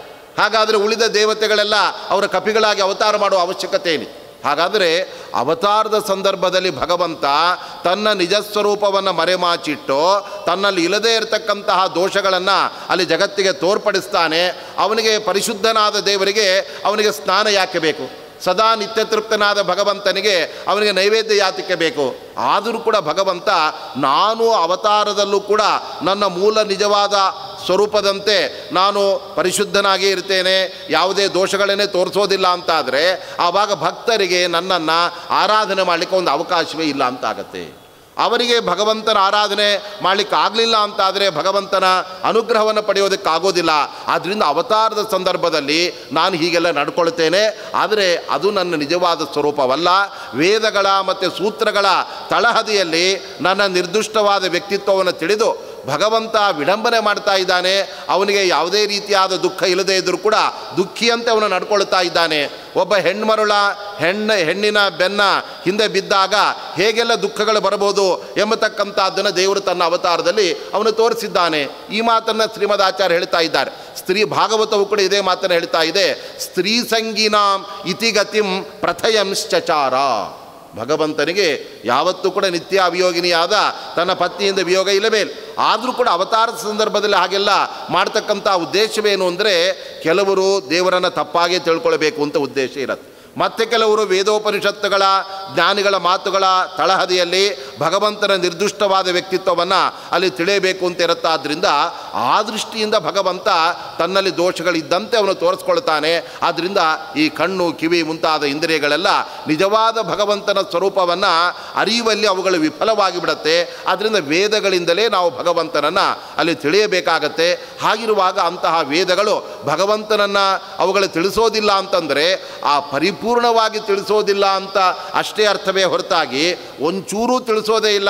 ಸರ್ವಥಾ ಅವನು ಭಗವಂತ, ನಾವು ವೇದಗಳಿಂದಲೂ ಕೂಡ ತಿಳಿಯಲು ಅವನು ಅರ್ಹನಲ್ಲ ಅಂತಾದರೆ ಇರೋದೇ ವೇದಗಳಿಂದ ತಿಳಿಯೋದಕ್ಕೆ ಅವಕಾಶ. ಅದರಿಂದಲೂ ಕೂಡ ದೇವರನ್ನು ತಿಳಿಯಲಿಕ್ಕೆ ಆಗಲಿಲ್ಲ ಅಂತಾದರೆ ಮತ್ಯಾವುದರಿಂದ ದೇವರನ್ನು ನಾವು ತಿಳಿಯಬೇಕು? ಆದ್ದರಿಂದ ಜ್ಞಾನಗಳೆಲ್ಲ ನೋಡಿ ಈ ಮೇರು ಪರ್ವತ ಮತ್ತು ಹಿಮಾಲಯ ಪರ್ವತದ ಪರಿಸರಕ್ಕೆ ನಾವು ಬದರಿಗೆಲ್ಲ ಹೋದಾಗ ನೋಡಿ ನಾನು ಮೇರು ಪರ್ವತ, ಹಿಮಾಲಯ ಪರ್ವತ ನೋಡ್ತಾ ಇದ್ದೇನೆ. ನೋಡಿದರೂ ಕೂಡ ನೋಡಿದಂತೆ ಆಗ್ತಾ ಇಲ್ಲ ಅಂತ ಹೇಳ್ತಾರೆ. ಅಂದರೆ ಅದರ ಅಗಾಧತೆಯನ್ನು ಅದು ಹೇಳುತ್ತೆ ಹೊರತಾಗಿ, ನಾನು ನೋಡೇ ಇಲ್ಲ ಅಂತ ಅದರ ತಾತ್ಪರ್ಯ. ಪಶ್ಯಂತೋಪಿ ನ ಪಶ್ಯಂತಿ, ಮೇರೋಹ ರೂಪಂ ವಿಪಶ್ಚಿತ ಅಂತ ಜ್ಞಾನಿಗಳೆಲ್ಲ ಅಗಾಧವಾದ, ಅಪರಿಮಿತವಾದಂತಹ ಆ ಒಂದು ವ್ಯಕ್ತಿತ್ವವನ್ನು ಪಡೆದ ವಸ್ತುಗಳನ್ನು ನೋಡಿದಾಗ, ಇದು ಯಾಕೋ ನನಗೆ ನೋಡಿದರೂ ನೋಡಿದಂತೆಯೇ ಆಗ್ತಾ ಇಲ್ಲ ನಾವು ಶ್ರೀನಿವಾಸ ದೇವರನ್ನು ನಾವು ವೆಂಕಟಾಚಲ ಬೆಟ್ಟದಲ್ಲಿ ನೋಡ್ತೇವೆ. ಅಲ್ಲಿ ನೋಡುವಾಗ ದೇವರ ಮುಖ ನೋಡಬೇಕೋ, ಪಾದ ನೋಡಬೇಕೋ, ಅಥವಾ ದೇವರ ಆಭರಣ ನೋಡಬೇಕೋ ಅನ್ನುವ ಚಿಂತನೆ ಮಾಡುವಷ್ಟರಲ್ಲೇ ನಾವು ಈ ಕಡೆ ಬಂದಾಗಿರೋದು. ಹಾಗಾದರೆ ದೇವರನ್ನು ನಾವು ನೋಡಿದರೂ ನೋಡಿದಂತೆ ಆಗಲಿಲ್ಲ ಅಂತ ನಾವು ಹೇಳ್ತಾ ಇರ್ತೇವೆ. ಅದರರ್ಥ ನಾವು ನೋಡಲಿಕ್ಕೆ ಆಗೋದಿಲ್ಲ ದೇವರನ್ನು. ಅವನು ನಮ್ಮ ಕಣ್ಣಿಗೆನೇ ಗೋಚರ ಅಲ್ಲ ಅಂತ ಅಭಿಪ್ರಾಯ ಅಲ್ಲ. ಅದರಂತೆ ವೇದಗಳು ಕೂಡ ಯಥೋವಾಚೋ ನಿವರ್ತಂತೆ ಅಪ್ರಾಪ್ಯ ಮನಸಾ ಸಹ ಅಂತ ಅಲ್ಲಿ ಸ್ಪಷ್ಟವಾಗಿ ಹೇಳ್ತಾ ಇವೆ. ಭಗವಂತನನ್ನು ಪ್ರತಿಪಾದನೆ ಮಾಡಲು ಹೊರಟಂತಹ ವೇದಗಳು ಅವನನ್ನು ಪರಿಪೂರ್ಣವಾಗಿ ತಿಳಿಸಿಕೊಡಲಾಗದೆ ಅವುಗಳಲ್ಲಿ ಮತ್ತೆ ವಾಪಸ್ ಬರ್ತಾ ಇವೆ. ಏಕೆಂದರೆ ವೇದಗಳಿಗೂ ಕೂಡ ಆ ಭಗವಂತನ ಅದ್ಭುತವಾದ ಮಹಿಮೆಯನ್ನು ಪೂರ್ಣವಾಗಿ ಬಣ್ಣಿಸೋದಕ್ಕಾಗೋದಿಲ್ಲ. ವೇದಗಳು, ವಚನಗಳು ಕೂಡ ಅಲ್ಲಿ ಸೋತು ಹೋಗಿಬಿಡ್ತವೆ. ಅದರ ಅರ್ಥ ವೇದಾಭಿಮಾನಿಯಾದ ಮಹಾಲಕ್ಷ್ಮೀ ದೇವಿಯು ಕೂಡ ಆ ಭಗವಂತನನ್ನು ಪರಿಪೂರ್ಣವಾಗಿ ಬಣ್ಣಿಸಲಾರಳು ಅನ್ನತಕ್ಕಂತಹ ಒಂದು ತತ್ವವನ್ನು ತಗೊಳ್ಬೇಕೇ ಹೊರತಾಗಿ. ಅದು ಬಿಟ್ಟು ಭಗವಂತ ಯಾವ ವೇದಗಳಿಂದ ಪ್ರತಿಪಾದನೆ ಅಲ್ಲ. ಅವನನ್ನು ಸರ್ವಥಾ ತಿಳಿಲಿಕ್ಕೆ ಆಗೋದೇ ಇಲ್ಲ ಅಂತ ಆ ರೀತಿಯಾಗಿ ಅಭಿಪ್ರಾಯವಲ್ಲ. ಈ ದೃಷ್ಟಿಯಿಂದ ಮುಖ್ಯವಾಗಿ ಅದ್ವೈತ ಸಿದ್ಧಾಂತ, ಯಾವ ಶಬ್ದಗಳಿಂದಲೂ ಕೂಡ ಭಗವಂತ ಪ್ರತಿಪಾದ್ಯನಲ್ಲ, ವಾಚ್ಯನಲ್ಲ ಅನ್ನತಕ್ಕಂತಹ ಅಂಶವನ್ನು ನೇರವಾಗಿ ನಿರಾಕರಣೆ ಮಾಡ್ತಾ, ಸರ್ವ ಶಬ್ದಗಳಿಂದಲೂ ಕೂಡ ಭಗವಂತ ವಾಚ್ಯನಾಗಿದ್ದಾನೆ ಎಂಬುದನ್ನು ವೇದವ್ಯಾಸ ದೇವರೇ ನಿರ್ಣಯ ಮಾಡಿಬಿಟ್ಟಿದ್ದಾರೆ. ಆದ್ದರಿಂದ ಅನೇಕ ಕಡೆಗಳಲ್ಲಿ ಈ ಒಂದು ಅದ್ವೈತ ಸಿದ್ಧಾಂತದ ವಿಚಾರ ಬಂದಾಗ ಇದನ್ನು ಶ್ರೀಮದ್ ಆಚಾರ್ಯರು ನಿರಾಕರಣೆ ಮಾಡಿಬಿಟ್ಟಿದ್ದಾರೆ. ಇದು ಖಂಡನೆ ಮಾಡ್ತಕ್ಕಂಥದ್ದು ಸರಿಯೇ. ಖಂಡನೆ ಮಂಡನಗಳೆಲ್ಲ ಸಮಾಜದಲ್ಲಿ ಒಂದು ರೀತಿಯ ಬೇರೆ ವಾತಾವರಣವನ್ನು ಮೂಡಿಸಿಬಿಡತ್ತೆ. ಆದ್ದರಿಂದ ಅದು ಸರಿಯಲ್ಲ ಅಂತ ಕೇಳಿದರೆ ಅದಕ್ಕೆ ಮೊದಲು ಖಂಡನೆ ಮಾಡಿದ್ದು ವೇದವ್ಯಾಸ ದೇವರೇ ಹೊರತಾಗಿ ಶ್ರೀಮದ್ ಆಚಾರ್ಯರಲ್ಲ ಹಾಗಾದರೆ ಸೂತ್ರಕಾರರಾದ ವೇದವ್ಯಾಸ ದೇವರಿಗೆ ಈ ಅದ್ವೈತ ಮತ ಪೂರ್ವಪಕ್ಷವಾಗಿರುವಾಗ ಅವರೇ ಆ ಎಲ್ಲ ಅಂಶಗಳನ್ನು ನಿರಾಕರಣೆ ಮಾಡ್ತಾ ಬಂದಾಗ ಅದಕ್ಕೆ ಉಪಯುಕ್ತವಾದ, ಅನುಗುಣವಾದ ಭಾಷ್ಯವನ್ನು ರಚನೆ ಮಾಡುವಾಗ ಶ್ರೀಮದ್ ಆಚಾರ್ಯರು ಕೂಡ ಅದನ್ನು ಹೇಳಲೇಬೇಕಾಯಿತು. ಅಷ್ಟು ಮಾತ್ರವಲ್ಲ, ಅವರು ತಾವು ಹೇಳಲು ಹೊರಟ ಆ ಸಿದ್ಧಾಂತಕ್ಕೆ, ಆ ಬೇರೆ ಬೇರೆ ವಿಚಾರಗಳಿಗೆ ಪೂರಕವಾದ ಅಂಶವೂ ಕೂಡ ಅದಾಗಿ. ಭಗವಂತ ಅವನು ಸರ್ವೋತ್ತಮ, ಸರ್ವಗುಣ ಪರಿಪೂರ್ಣ ಅಂತಾಗಬೇಕಾದರೆ ಅವನಲ್ಲಿ ಸರ್ವಶಬ್ದ ವಾಚ್ಯತ್ವ ಹೇಳಲೇಬೇಕು. ಒಂದೊಂದು ಶಬ್ದವು ಕೂಡ ಭಗವಂತನ ಹಲವು ಗುಣಗಳನ್ನು ಪ್ರತಿಪಾದನೆ ಮಾಡಿದಾಗ ಅನಂತ ಶಬ್ದಗಳಿಂದ ಆ ಭಗವಂತನಲ್ಲಿ ಅನಂತ ಗುಣಗಳೇ ಅದರಿಂದ ಸಿದ್ಧವಾಗಿ ಬಿಡುತ್ತೆ. ಅದಕ್ಕೋಸ್ಕರವಾಗಿ ಆ ವೇದಗಳೆಲ್ಲ ಭಗವಂತನನ್ನೇ ಮುಖ್ಯವಾಗಿ ಅಲ್ಲಿ ಪ್ರತಿಪಾದನೆ ಮಾಡ್ತಾ ಇವೆ. ಅದರ ಜೊತೆಗೆ ಮೇಲುನೋಟಕ್ಕೆ ವಾಯು ಸೂಕ್ತ, ವರ್ಣ ಸೂಕ್ತ, ಅಗ್ನಿ ಸೂಕ್ತ ಅಂತೆಲ್ಲ ವೇದಗಳಲ್ಲಿ ಇದ್ದರೂ ಕೂಡ ಅಲ್ಲಿ ವಾಯು, ವರುಣ, ಇಂದ್ರ ಅಂದರೆ ಭಗವಂತನೇ ಆಗಿದ್ದಾನೆ. ಯಾಕೆಂದರೆ ವರುಣ ಅಂದರೆ ಆವೃಣೋತೀತಿ ವರುಣ. ಈ ಎಲ್ಲ ಜಗತ್ತನ್ನು ತನ್ನ ಮಾಯಾಶಕ್ತಿಯಿಂದ ಆವರಿಸುವಂತೆ ಮಾಡಿ ಭಗವಂತ ಯಾರಿಗೆ ಅಜ್ಞಾನ ಬರಬೇಕೋ, ಯಾರಿಗೆ ಜ್ಞಾನ ಬರಬೇಕೋ, ಅದೆಲ್ಲ ತನ್ನ ಇಚ್ಛೆಯಂತೆ ಭಗವಂತ ಅಲ್ಲಿ ನಡ್ಕೊಳ್ತಾನಾದ್ದರಿಂದ, ಮತ್ತು ಇಂದ್ರ ಅಂದರೆ ಪರಮೈಶ್ವರ್ಯ ಉಳ್ಳಂಥವನಾಗಿದ್ದಾನೆ, ಯಮ ಅಂದರೆ ನಿಯಮನ ಮಾಡ್ತಕ್ಕಂಥವನೇ ಆ ಭಗವಂತನಾಗಿದ್ದಾನೆ ಅಂತ ತಗೊಂಡಾಗ ಆ ಎಲ್ಲ ಶಬ್ದಗಳ ನಿರ್ವಚನ ಮೇಲುನೋಟಕ್ಕೆ ಶಬ್ದದಿಂದ ರೂಢಿಯಿಂದ ನಮಗೆ ತಿಳಿಯುವ ಅರ್ಥ ಬೇರೆ. ಆದರೆ ಅದರ ಒಳಹೊಕ್ಕು ಶಬ್ದವನ್ನು ಒಡೆದು ಅದರಿಂದ ಅದರ ಅರ್ಥವನ್ನು ನಾವು ತೆಗೆದಾಗ ಅದೆಲ್ಲ ಭಗವಂತನನ್ನು ಅದು ಪ್ರತಿಪಾದನೆ ಮಾಡ್ತಾ ಇದೆ. ಅದಕ್ಕೋಸ್ಕರ ಸರ್ವಶಬ್ದ ವಾಚ್ಯತ್ವವನ್ನು ನಾವು ಭಗವಂತನಿಗೆ ತಿಳಿದಾಗಲೇ ಅವನು ಸರ್ವಗುಣ ಪರಿಪೂರ್ಣನಾಗ್ತಾನೆ. ಆ ಸಂದರ್ಭದಲ್ಲೇ ವೇದಗಳೆಲ್ಲ ವಿಷ್ಣು ಪರಮಃ ಅಂತ ಏನು ಭಗವಂತನ ಆ ಸರ್ವೋತ್ತಮತ್ವವನ್ನು ಸಾರ್ತಾ ಇದೆ, ಅದು ಇದರಿಂದ ಸಿದ್ಧವಾಗುತ್ತೆ ಅಂತ ಹೇಳುವಾಗ ವೇದಗಳಲ್ಲಿ ಬಂದಿರತಕ್ಕಂತಹ ಅಂಶಗಳನ್ನೇ ಅವರು ನೇರವಾಗಿ ವಿವರಣೆ ಮಾಡುವಾಗ ಅದಕ್ಕೆ ಉಪಯುಕ್ತವಾದಂತಹ ಬೇರೆ ಬೇರೆ ಅಂಶಗಳನ್ನು ಅವರು ತಮ್ಮ ಸಿದ್ಧಾಂತದಲ್ಲಿ ಬಳಸ್ಕೊಂಡಿದ್ದಾರೆ. ಅದ್ವೈತ ಸಿದ್ಧಾಂತ ಅದರ ರಚನೆ ಆಗಬೇಕಾದರೆ ಆ ಸಿದ್ಧಾಂತಕ್ಕೆ ಪೂರಕವಾದಂತಹ ಅನೇಕ ಪ್ರಮೇಯಗಳನ್ನು, ವಿಚಾರಗಳನ್ನು ಗೌಡಪಾದರ ಕಾರಿಕೆಗಳೆಲ್ಲ ಶಂಕರಾಚಾರ್ಯರಿಗೆ ಒದಗಿಸಿಕೊಟ್ಟಿತ್ತು. ಆದ್ದರಿಂದ ಅವರ ಪೂರ್ವಾಚಾರ್ಯರ ಬೇರೆ ಬೇರೆ ಗ್ರಂಥಗಳ ಆಧಾರದಿಂದ ಅವರು ಸುಲಭವಾಗಿ ತಮ್ಮ ಅದ್ವೈತ ಸಿದ್ಧಾಂತವನ್ನು ಸ್ಥಾಪನೆ ಮಾಡಿದರು. ಆದರೆ ಶ್ರೀಮದ್ ಆಚಾರ್ಯರು ತಮ್ಮ ಸಿದ್ಧಾಂತವನ್ನು ಸ್ಥಾಪನೆ ಮಾಡುವಾಗ ಅವರಿಗೆ ಯಾವ ಪೂರ್ವಾಚಾರ್ಯರ ವಚನಗಳು ಕೂಡ ಇರಲಿಲ್ಲ. ಅವರೇ ನೇರವಾಗಿ ವೇದವ್ಯಾಸದೇವರ ಸಮಗ್ರ ವಾಂಗ್ಮಯವನ್ನು ಆಧಾರವಾಗಿಟ್ಟುಕೊಂಡು ಬ್ರಹ್ಮಸೂತ್ರಗಳಲ್ಲಿ ಏನಿದೆ, ಅನಂತರದಲ್ಲಿ ವೇದೋಪನಿಷತ್ತುಗಳು ಏನು ಹೇಳ್ತಾ ಇವೆ, ಇದರ ಜೊತೆಗೆ ಮಹಾಭಾರತ, ಭಾಗವತ, ಅದೆಲ್ಲ ವೇದವ್ಯಾಸದೇವರ ರಚನೆಯೇ. ಹಾಗಿರುವಾಗ ಅವರ ಇತರ ಗ್ರಂಥಗಳಿಗೂ ಮತ್ತು ಬ್ರಹ್ಮಸೂತ್ರಗಳಿಗೂ ಕೂಡ ಆನುಗುಣ್ಯವನ್ನು, ಏಕತೆಯನ್ನು ನಾವು ಹೇಗೆ ಕಾಣಬೇಕು, ಇದೆಲ್ಲವನ್ನು ಮಾಡಬೇಕಾದ ಒಂದು ದೊಡ್ಡ ಹೊಣೆಗಾರಿಕೆ ಶ್ರೀಮದ್ ಆಚಾರ್ಯರ ಮೇಲೆ ಇತ್ತು. ವೇದವ್ಯಾಸದೇವರು ವೇದಗಳಿಗೆ, ಸೂತ್ರಗಳಿಗೆ ಏಕರೂಪತೆಯನ್ನು ತೋರಿಸುವ ಕೆಲಸವನ್ನು ಮಾಡಿ ಬ್ರಹ್ಮಸೂತ್ರ ರಚನೆ ಮಾಡಿಬಿಟ್ರು. ಆದರೆ ಆ ಬ್ರಹ್ಮಸೂತ್ರಗಳಲ್ಲಿ ಆ ರಚನೆಗೊಂಡ ಅದಕ್ಕೆ ಭಾಷೆಗಳೇನಿದೆ ಅವುಗಳಲ್ಲಿ ಪರಸ್ಪರ ಗೊಂದಲ. ಒಬ್ಬರು ಬ್ರಹ್ಮಸೂತ್ರಗಳಿಗೆ ಅಭೇದದಲ್ಲಿ ತಾತ್ಪರ್ಯ ಅಂದರೆ ಮತ್ತೆ ಕೆಲವರು ಭೇದದಲ್ಲಿ ತಾತ್ಪರ್ಯ ಅಂದರು, ಮತ್ತೆ ಕೆಲವರು ಬೇರೆ ಬೇರೆ ಹೇಳ್ತಾ ಬಂದರು. ಹಾಗಾದರೆ ಸೂತ್ರಗಳಿಗೆ ನಿಜವಾದ ಅಂತರ್ಯ ಯಾವುದು? ಅನ್ನೋದು ನಿರ್ಣಯವಾಗಬೇಕಾದಂತಹ ಒಂದು ಕೆಲಸವಾಗಿತ್ತು. ಅನಂತರದಲ್ಲಿ ಆ ಸೂತ್ರಗಳು, ವೇದ ಮತ್ತು ಉಪನಿಷತ್ತುಗಳ ಸಮಾನ ವಿಚಾರಗಳನ್ನು ಹೇಳ್ತಾ ಇದೆ ಅನ್ನೋದನ್ನು ಕೂಡ ಅವರು ನಿರ್ಣಯ ಮಾಡಬೇಕಾಗಿತ್ತು. ಇದರ ಜೊತೆಗೆ ಬ್ರಹ್ಮಸೂತ್ರಗಳನ್ನು ರಚನೆ ಮಾಡಿದ ವೇದವ್ಯಾಸದೇವರೇ, ಅವರೇನು ಭಾಗವತ ಭಾರತ ಗ್ರಂಥಗಳನ್ನು ರಚನೆ ಮಾಡಿದ್ದಾರೆ. ಅಲ್ಲಿ ಪರಸ್ಪರ ವಿರೋಧ ಬಾರದಂತೆ ಅವುಗಳನ್ನು ಅರ್ಥೈಸಬೇಕಾದಂತಹ ಅನೇಕ ಜವಾಬ್ದಾರಿಗಳಿದ್ದಾಗ ಆ ಎಲ್ಲವನ್ನು ಕೂಡ ತಮ್ಮ ಮೇಲೆ ಹಾಕಿಕೊಂಡು ಶ್ರೀಮದಾಚಾರ್ಯರು ಸಮಗ್ರ ವೇದವ್ಯಾಸದೇವರ ವಾಂಗ್ಮಯವನ್ನೇ ಆಧಾರವಾಗಿಟ್ಟುಕೊಂಡು ಅವರು ಈ ಸಿದ್ಧಾಂತವನ್ನು ರಚನೆ ಮಾಡಿ ಆ ಸಂದರ್ಭದಲ್ಲಿ ಎಲ್ಲೂ ಕೂಡ ದುರ್ಬಲವಾದ ಪ್ರಮಾಣಗಳನ್ನು ಬಳಸದೆ ಅನಂತರದಲ್ಲಿ ತಮ್ಮ ತಲೆಯಲ್ಲಿ ತುಂಬಿಕೊಂಡ ಪ್ರಮೇಯಗಳನ್ನು ಅದು ವೇದಕ್ಕೆ ವಿರುದ್ಧವಾಗಿದ್ದರೂ ಕೂಡ ಅದನ್ನು ಅಲ್ಲಿ ಹೇಳಬೇಕು ಅನ್ನತಕ್ಕಂತಹ ಒಂದು ಆಗ್ರಹಕ್ಕೆ ಒಳಗಾಗದೆ ನೇರವಾಗಿ ಸೂತ್ರ ಏನು ಹೇಳುತ್ತೆ ಅದನ್ನು ಅವರು ತಿಳಿಸಿದ್ದಾರೆ. ಆದ್ದರಿಂದ ಬ್ರಹ್ಮಸೂತ್ರಕ್ಕೆ ಭಾಷ್ಯವನ್ನು ಬರೆಯುವಾಗ ಆರಂಭದಲ್ಲೇ ಶ್ರೀಮದ್ ಆಚಾರ್ಯರು ಹೇಳ್ತಾರೆ ಸೂತ್ರಾರ್ಥ ಉಚ್ಯತೆ ಅಂತಾರೆ. ನಾನು ಸೂತ್ರಗಳಿಂದ ನೇರವಾಗಿ ಹೊರಹೊಮ್ಮೋ ಯಾವ ಅರ್ಥ ಇದೆ? ಅದನ್ನು ಹೇಳ್ತೇನೆ ಅಷ್ಟೇ ಹೊರತಾಗಿ, ಸೂತ್ರಗಳಲ್ಲಿ ಇಲ್ಲದೇ ಇದ್ದರೂ ನನಗೆ ಅದು ಅಪೇಕ್ಷಿತವಾಗಿದೆ. ಅದಕ್ಕೋಸ್ಕರ ಅದನ್ನು ನಾನು ಹೇಳಿಕ್ಕೆ ಹೊರಟುತ್ತೇನೆ ಅನ್ನುವ ಅಭಿಪ್ರಾಯ ಬರದಂತೆ ನೇರ ಸೂತ್ರಗಳ ಅಭಿಪ್ರಾಯವನ್ನು ನಾನಿಲ್ಲಿ ಮಂಡಿಸ್ತಾ ಇದ್ದೇನೆ. ಅದೇ ಥರ ಗೀತೆಯ ಅರ್ಥವನ್ನು ಅವರು ತಿಳಿಸುವಾಗಲೂ ಕೂಡ ಶ್ರೀಮದಾಚಾರ್ಯರು ಆ ಮೊದಲು ಮಹಾಭಾರತದಲ್ಲಿ ಗೀತೆ ಬರುವುದಾದ್ದರಿಂದ ಅದನ್ನು ರಚನೆ ಮಾಡಿರ್ತಕ್ಕಂಥವರು ವೇದವ್ಯಾಸ ದೇವರು. ಅವರಿಗೆ ಅವರು ನಮಸ್ಕಾರವನ್ನು ಮಾಡಿ, ಪರಿಪೂರ್ಣಂ ಗುರುಂಶ್ಚ ಆನ್ ಗೀತಾರ್ಥಂ ವಕ್ಷಾಮಿಲೇಶತಃ ಅಂತ. ಅನಂತರದಲ್ಲಿ ಗೀತೆಯ ಅರ್ಥವನ್ನು ಹೇಳ್ತೇನೆ, ನನಗೆ ತೋರಿದ ಅರ್ಥವನ್ನು ನಾನು ಹೇಳೋದಲ್ಲ. ಏಕೆಂದರೆ ಗೀತೆ ಎಂದರೆ ದುಗ್ಧಂ ಗೀತಾಮೃತಂ ಮಹತು ಅಂತ ಕೃಷ್ಣ ಹೇಳ್ತಾ ಇದ್ದಾನೆ. ಅದು ವೇದ ಉಪನಿಷತ್ತುಗಳೆಂಬ ಹಸುವಿನಿಂದ ಕರೆದಿರ್ತಕ್ಕಂಥ ಹಾಲು ಅಂತ. ಈ ಹಾಲನ್ನು ಹಸುವಿನಿಂದ ಕರೆದಿರ್ತಕ್ಕಂಥವರು ಹಾಲನ್ನು ಇತರರಿಗೆ ವಿತರಣೆ ಮಾಡಬೇಕಾದ್ರೆ ಅವರೇನು ಮಾಡ್ತಾರೆ? ಪ್ರತಿಯೊಬ್ಬರೂ ಕೂಡ ತಮ್ಮ ತಮ್ಮ ಮನೆಯ ಹಾಲನ್ನು ಇನ್ನೊಬ್ಬರಿಗೆ ಕೊಡೋದಕ್ಕೆ ಹೋಗುವಾಗ ಒಂದಷ್ಟು ಮನೆ ನೀರನ್ನು ಬೆರೆಸ್ಕೊಂಡೇ ಅವರು ಮಾರಾಟಕ್ಕೆ ಹೋಗ್ತಾ ಇರ್ತಾರೆ. ಯಾಕೆಂದರೆ ಬರೀ ಗಟ್ಟಿ ಹಾಲು ಹಾಕ್ಬಿಟ್ರೆ ಅವ್ರಿಗೆ ವ್ಯಾಪಾರ ಆಗೋದು ಹೇಗೆ? ಅದಕ್ಕೋಸ್ಕರ ಪ್ರತಿಯೊಬ್ಬ ಹಾಲನ್ನು ಮಾರುವ ವ್ಯಕ್ತಿ ಆ ವ್ಯಕ್ತಿ ತನ್ನ ಮನೆಯಲ್ಲಿದ್ದ ನೀರನ್ನು ಅದಕ್ಕೆ ಬೆರಕೆ ಮಾಡಿ ಶುದ್ಧ ಹಾಲನ್ನು ಕೊಡದೆ ನೀರು ಮಿಶ್ರಿತವಾದ ಹಾಲನ್ನೇ ಅವನು ಕೊಡ್ತಾನೆ. ಆದರೆ ಶ್ರೀಮದ್ ಆಚಾರ್ಯರು ಮಾತ್ರ ನೇರ ಶುದ್ಧವಾದ ಗೀತೆಯ ಅರ್ಥವನ್ನು, ಶುದ್ಧವಾದ ಸೂತ್ರಗಳ ಅರ್ಥವನ್ನೇ ಅವರು ಹೇಳಿದಾರಾದ್ದರಿಂದ ಆ ಹಿನ್ನೆಲೆಯಲ್ಲಿ ಆ ಸಿದ್ಧಾಂತಕ್ಕೆ ಬಹಳ ಮಹತ್ವ ಎಂಬತಕ್ಕಂಥದ್ದಿದೆ.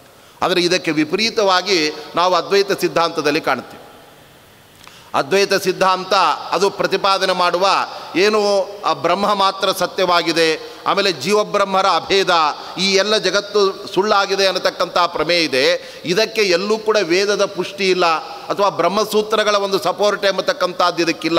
ಆದರೂ ಕೂಡ ನಾವು ಈ ವಿಚಾರವನ್ನು ತಿಳಿಸಬೇಕಾಗಿದೆ. ಹೇಗಾದರೂ ಮಾಡಿ ವೇದ ಸೂತ್ರಗಳನ್ನು ಅದಕ್ಕೆ ಹೊಂದಿಸ್ಬಿಡೋದು. ಯಾವುದೋ ರೀತಿಯಿಂದ ಒಟ್ಟು ನಮ್ಮ ಸಿದ್ಧಾಂತವನ್ನು ಸ್ಥಾಪನೆ ಮಾಡಬೇಕು ಅಂತ ಹೊರಟಾಗ ಅವರಿಗೆ ಅದಕ್ಕೆ ವಿರುದ್ಧವಾದ ಪ್ರಮೇಯಗಳೇ ವೇದೋಪನಿಷತ್ತುಗಳೆಲ್ಲ ಬಂದಾಗ ಅದನ್ನು ಅವರಿಗೆ ಸಮರ್ಥನೆ ಮಾಡೋದು ಬಹಳ ಕಷ್ಟವಾಯಿತು. ಆದರೂ ಕೂಡ ಶಂಕರಾಚಾರ್ಯರು ತಮ್ಮ ಸಿದ್ಧಾಂತದಲ್ಲಿ ತಾವು ಅಂದುಕೊಂಡಿರ್ತಕ್ಕಂಥ ಪ್ರಮೇಯಗಳನ್ನು ಬೇರೆ ಬೇರೆ ರೀತಿಯಾಗಿರ್ತಕ್ಕಂಥ ಒಂದು ಯುಕ್ತಿಗಳನ್ನು ಅವರು ಮುಂದೆ ಇಟ್ಟು ಅದರಿಂದ ಆ ವಿಚಾರಗಳನ್ನೆಲ್ಲ ಮಂಡನೆ ಮಾಡಿಬಿಟ್ಟು ಅದರಿಂದ ಬಹಳ ಸಂತೋಷಗೊಂಡಿರತಕ್ಕಂತಹ ಆ ಅದ್ವೈತ ಮತದಲ್ಲಿ ಬಂದ ಅನಂತರದ ಕೆಲವು ದೊಡ್ಡ ದೊಡ್ಡ ಆ ಗ್ರಂಥಕಾರರು ಅವರು ವೇದವ್ಯಾಸ ದೇವರನ್ನು ಅಲ್ಲಗಳಿದು ಅನಂತರದಲ್ಲಿ ಬ್ರಹ್ಮಸೂತ್ರಗಳಿಗೆ ಅಲ್ಲಿ ಪ್ರತಿಪಾದಿತವಲ್ಲದೇ ಇದ್ದರೂ ಕೂಡ ಆ ಜೀವಬ್ರಹ್ಮರ ಐಕ್ಯ ಜಗನ್ಮಿಥ್ಯಾತ್ವ ಇದನ್ನೆಲ್ಲ ಹೇಳಿದಾಗ ನಾವು ಶಂಕರಾಚಾರ್ಯಗೆ ನಮಸ್ಕಾರ ಮಾಡ್ತೇವೆ. ಆ ಪರಂಪರೆಯಲ್ಲಿ ಬಂದು ಅದನ್ನು ಪೋಷಣೆ ಮಾಡಿದ ಸುರೇಶ್ವರಾಚಾರ್ಯರಿಗೆ ನಾವು ವಂದನೆಯನ್ನು ಸಲ್ಲಿಸ್ತೇವೆ. ಆದರೆ ಯಾವುದೇ ಕಾರಣಕ್ಕೂ ನಾವು ವೇದವ್ಯಾಸ ದೇವರಿಗೆ ವಂದನೆ ಸಲ್ಲಿಸೋದಿಲ್ಲ.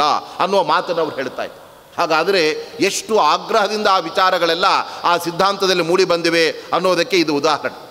ಅದ್ವೈತ ಸಿದ್ಧಿ ಅಂತ ದೊಡ್ಡ ಉದ್ಗ್ರಂಥ. ಹೇಗೆ ನಮ್ಮ ವ್ಯಾಸರಾಜ ಸ್ವಾಮಿಗಳ ಮುಂದೆ ಆ ಅದ್ವೈತ ಸಿದ್ಧಿ ಮುಂತಾದ ಗ್ರಂಥಗಳನ್ನು ಖಂಡನೆ ಮಾಡೋಕ್ಕೋಸ್ಕರವೇ ಅವರ ನ್ಯಾಯಾಮೃತ ಅಂತ ದೊಡ್ಡ ಉದ್ಗ್ರಂಥವನ್ನು ರಚನೆ ಮಾಡಿದ್ರು. ಅದಕ್ಕೆ ಮೂಲಭೂತವಾದ, ಅಂದರೆ ಅದಕ್ಕೆ ಪೂರ್ವಪಕ್ಷವನ್ನು ಎತ್ತಿದ ಗ್ರಂಥ ಅದು ಅದ್ವೈತ ಸಿದ್ಧಿ. ಅದನ್ನು ರಚನೆ ಮಾಡಿರ್ತಕ್ಕಂಥವರು ಮಧುಸೂದನ ಸರಸ್ವತಿಗಳು ಅಂತ ಅದ್ವೈತ ಸಿದ್ಧಾಂತದ ಪ್ರಖ್ಯಾತ ವಿದ್ವಾಂಸರು. ಅವರು ಒಂದು ಕಡೆ ತಮ್ಮ ಗ್ರಂಥದಲ್ಲಿ ಹೇಳ್ತಾರೆ, ನೋಡಿ ನಾವು ಈ ಒಂದು ಗ್ರಂಥವನ್ನು ರಚನೆ ಮಾಡುವಾಗ ನಮಗೆ ಅತ್ಯಂತ ಮಾನ್ಯರಾದವರು, ನಮಗೆ ಅತ್ಯಂತ ಶ್ರೇಷ್ಠ ಗುರುಗಳಾದವರು ಯಾರು ಅಂದರೆ ಶಂಕರಾಚಾರ್ಯರು, ಸುರೇಶ್ವರಾಚಾರ್ಯರು. ಆದರೆ ಬ್ರಹ್ಮಸೂತ್ರಗಳನ್ನು ರಚನೆ ಮಾಡಿದ ವೇದವ್ಯಾಸ ದೇವರು ನಮಗೆ ಮಾನ್ಯರಲ್ಲ. ಆದ್ದರಿಂದ ನಾವು ಅವರಿಗೆ ನಮಸ್ಕಾರ ಮಾಡೋದಿಲ್ಲ ಇವರಿಬ್ಬರಿಗೆ ನಮಸ್ಕಾರ ಮಾಡ್ತೇವೆ ಅಂತ ಅವ್ರು ಹೇಳ್ತಾರೆ. ಯಾಕೆ ಅಂದರೆ ಅವರ ಬಾಯಲ್ಲಿ ಕೇಳಿ, ನಸ್ತೌಮ್ಯಹಂ ವ್ಯಾಸಂ ಅಶೇಷಮರ್ಥಂ ಸಮ್ಯಕ್ನ ಸೂತ್ರೈ ನಿಬಬಂಧಯೋರ್ಥಂ ವಿನಾಪಿತೈ ಸಂಗೃಹೀತಾಖಿಲಾರ್ಥಂ ತಂ ಶಂಕರಂ ನವಮಿ ಸುರೇಶ್ವರಂಚ ಅಂತ ಮಧುಸೂದನ ಸರಸ್ವತಿಗಳು ಅವ್ರು ಹೇಳ್ತಕ್ಕಂಥ ಮಾತು. ನಾವು ವೇದವ್ಯಾಸ ದೇವರಿಗೆ ನಮಸ್ಕಾರ ಮಾಡೋದಿಲ್ಲ. ನೋಡಿದರೆ ವೇದವ್ಯಾಸ ದೇವರ ಬ್ರಹ್ಮಸೂತ್ರವನ್ನು ಇಟ್ಕೊಂಡೇ ಅವರು ಸಿದ್ಧಾಂತ ಸ್ಥಾಪನೆ ಮಾಡ್ತಾ ಇದ್ದಾರೆ. ಹಾಗಾದರೆ ಬ್ರಹ್ಮಸೂತ್ರಗಳಿಗೆ ಅದನ್ನು ರಚನೆ ಮಾಡಿದ ವೇದವ್ಯಾಸ ದೇವರಿಗೆ ನಿಮಗೆ ಇಷ್ಟ ಇದ್ದರೂ ಇಲ್ಲದೇ ಇದ್ದರೂ ಕೂಡ ಅವರಿಗೆ ನೀವು ನಮ್ಮ ಮಾನ್ಯತೆ ಕೊಡಲೇಬೇಕು, ಅವರಿಗೆ ನಮಸ್ಕಾರ ಮಾಡಲೇಬೇಕು. ಇಲ್ಲ ಅಂತಾದರೆ ಸೂತ್ರಕಾರರಿಗೆ ನೀವು ಮಾನ್ಯತೆ ಕೊಡದೇ ಇದ್ದಾಗ ನಿಮಗೆ ಭಾಷ್ಯಕಾರರು ಅಂತ ಉಳಿದವರು ಹೇಗೆ ಮಾನ್ಯತೆ ಕೊಡ್ತಾರೆ? ಆದ್ದರಿಂದ ನೀವು ಭಾಷ್ಯಕಾರರಾಗಿ ಮಾನ್ಯರಾಗಬೇಕಾಗಿದ್ದರೆ ಮೊದಲು ನಿಮಗಿಂತ ಹಿರಿಯರಾದ ನಿಮ್ಮ ಆ ಗ್ರಂಥಗಳಿಗೆಲ್ಲ ಮೂಲ ಗ್ರಂಥಗಳನ್ನು, ಆಕರ ಗ್ರಂಥಗಳನ್ನು ಒದಗಿಸಿದಂತಹ ಆ ಸೂತ್ರಕಾರರಿಗೆ ನಿಜವಾಗಲೂ ಕೂಡ ನೀವು ಮನ್ನಣೆ ಕೊಟ್ಟು ಅವರಿಗೆ ನಮಸ್ಕಾರ ಮಾಡಬೇಕಾಗಿತ್ತು. ಆದರೆ ಅವ್ರು ಹೇಳ್ತಾ ಇದ್ದಾರೆ, ನಮಗೆ ಸೂತ್ರಕಾರರೇ ಬೇಡ, ನಮಗೆ ಅವ್ರು ಇಷ್ಟ ಇಲ್ಲ. ಯಾಕೆ ಅಂದರೆ ಅವರು ನಮ್ಮ ಸಿದ್ಧಾಂತಕ್ಕೆ ಬೇಕಾದ ಆ ಪ್ರಮೇಯಗಳನ್ನು ಸೂತ್ರಗಳಲ್ಲಿ ಎಲ್ಲೂ ಕೂಡ ಹೇಳೇ ಇಲ್ಲ. ಹಾಗಾದರೆ ನಮ್ಮ ಸಿದ್ಧಾಂತದ ಪ್ರಮೇಯಗಳನ್ನು ಹೇಳದೇ ಇರತಕ್ಕಂಥ ಅವರಿಗೆ ನಾವು ಯಾಕೆ ನಮಸ್ಕಾರ ಮಾಡಬೇಕು? ಆದ್ದರಿಂದ ನಸ್ತೌಮ್ಯಹಂ ವ್ಯಾಸಂ. ನಾನು ವೇದವ್ಯಾಸ ದೇವರಿಗೆ ನಮಸ್ಕಾರ ಮಾಡೋದಿಲ್ಲ. ಯಾಕೆ ಅಂದರೆ ಅವರಲ್ಲಿ ದೋಷ ಹುಡುಕ್ತಾ ಇದ್ದಾರೆ ಅವರು. ಏನು ಅವರಲ್ಲಿ ಇರತಕ್ಕಂಥ ದೋಷ?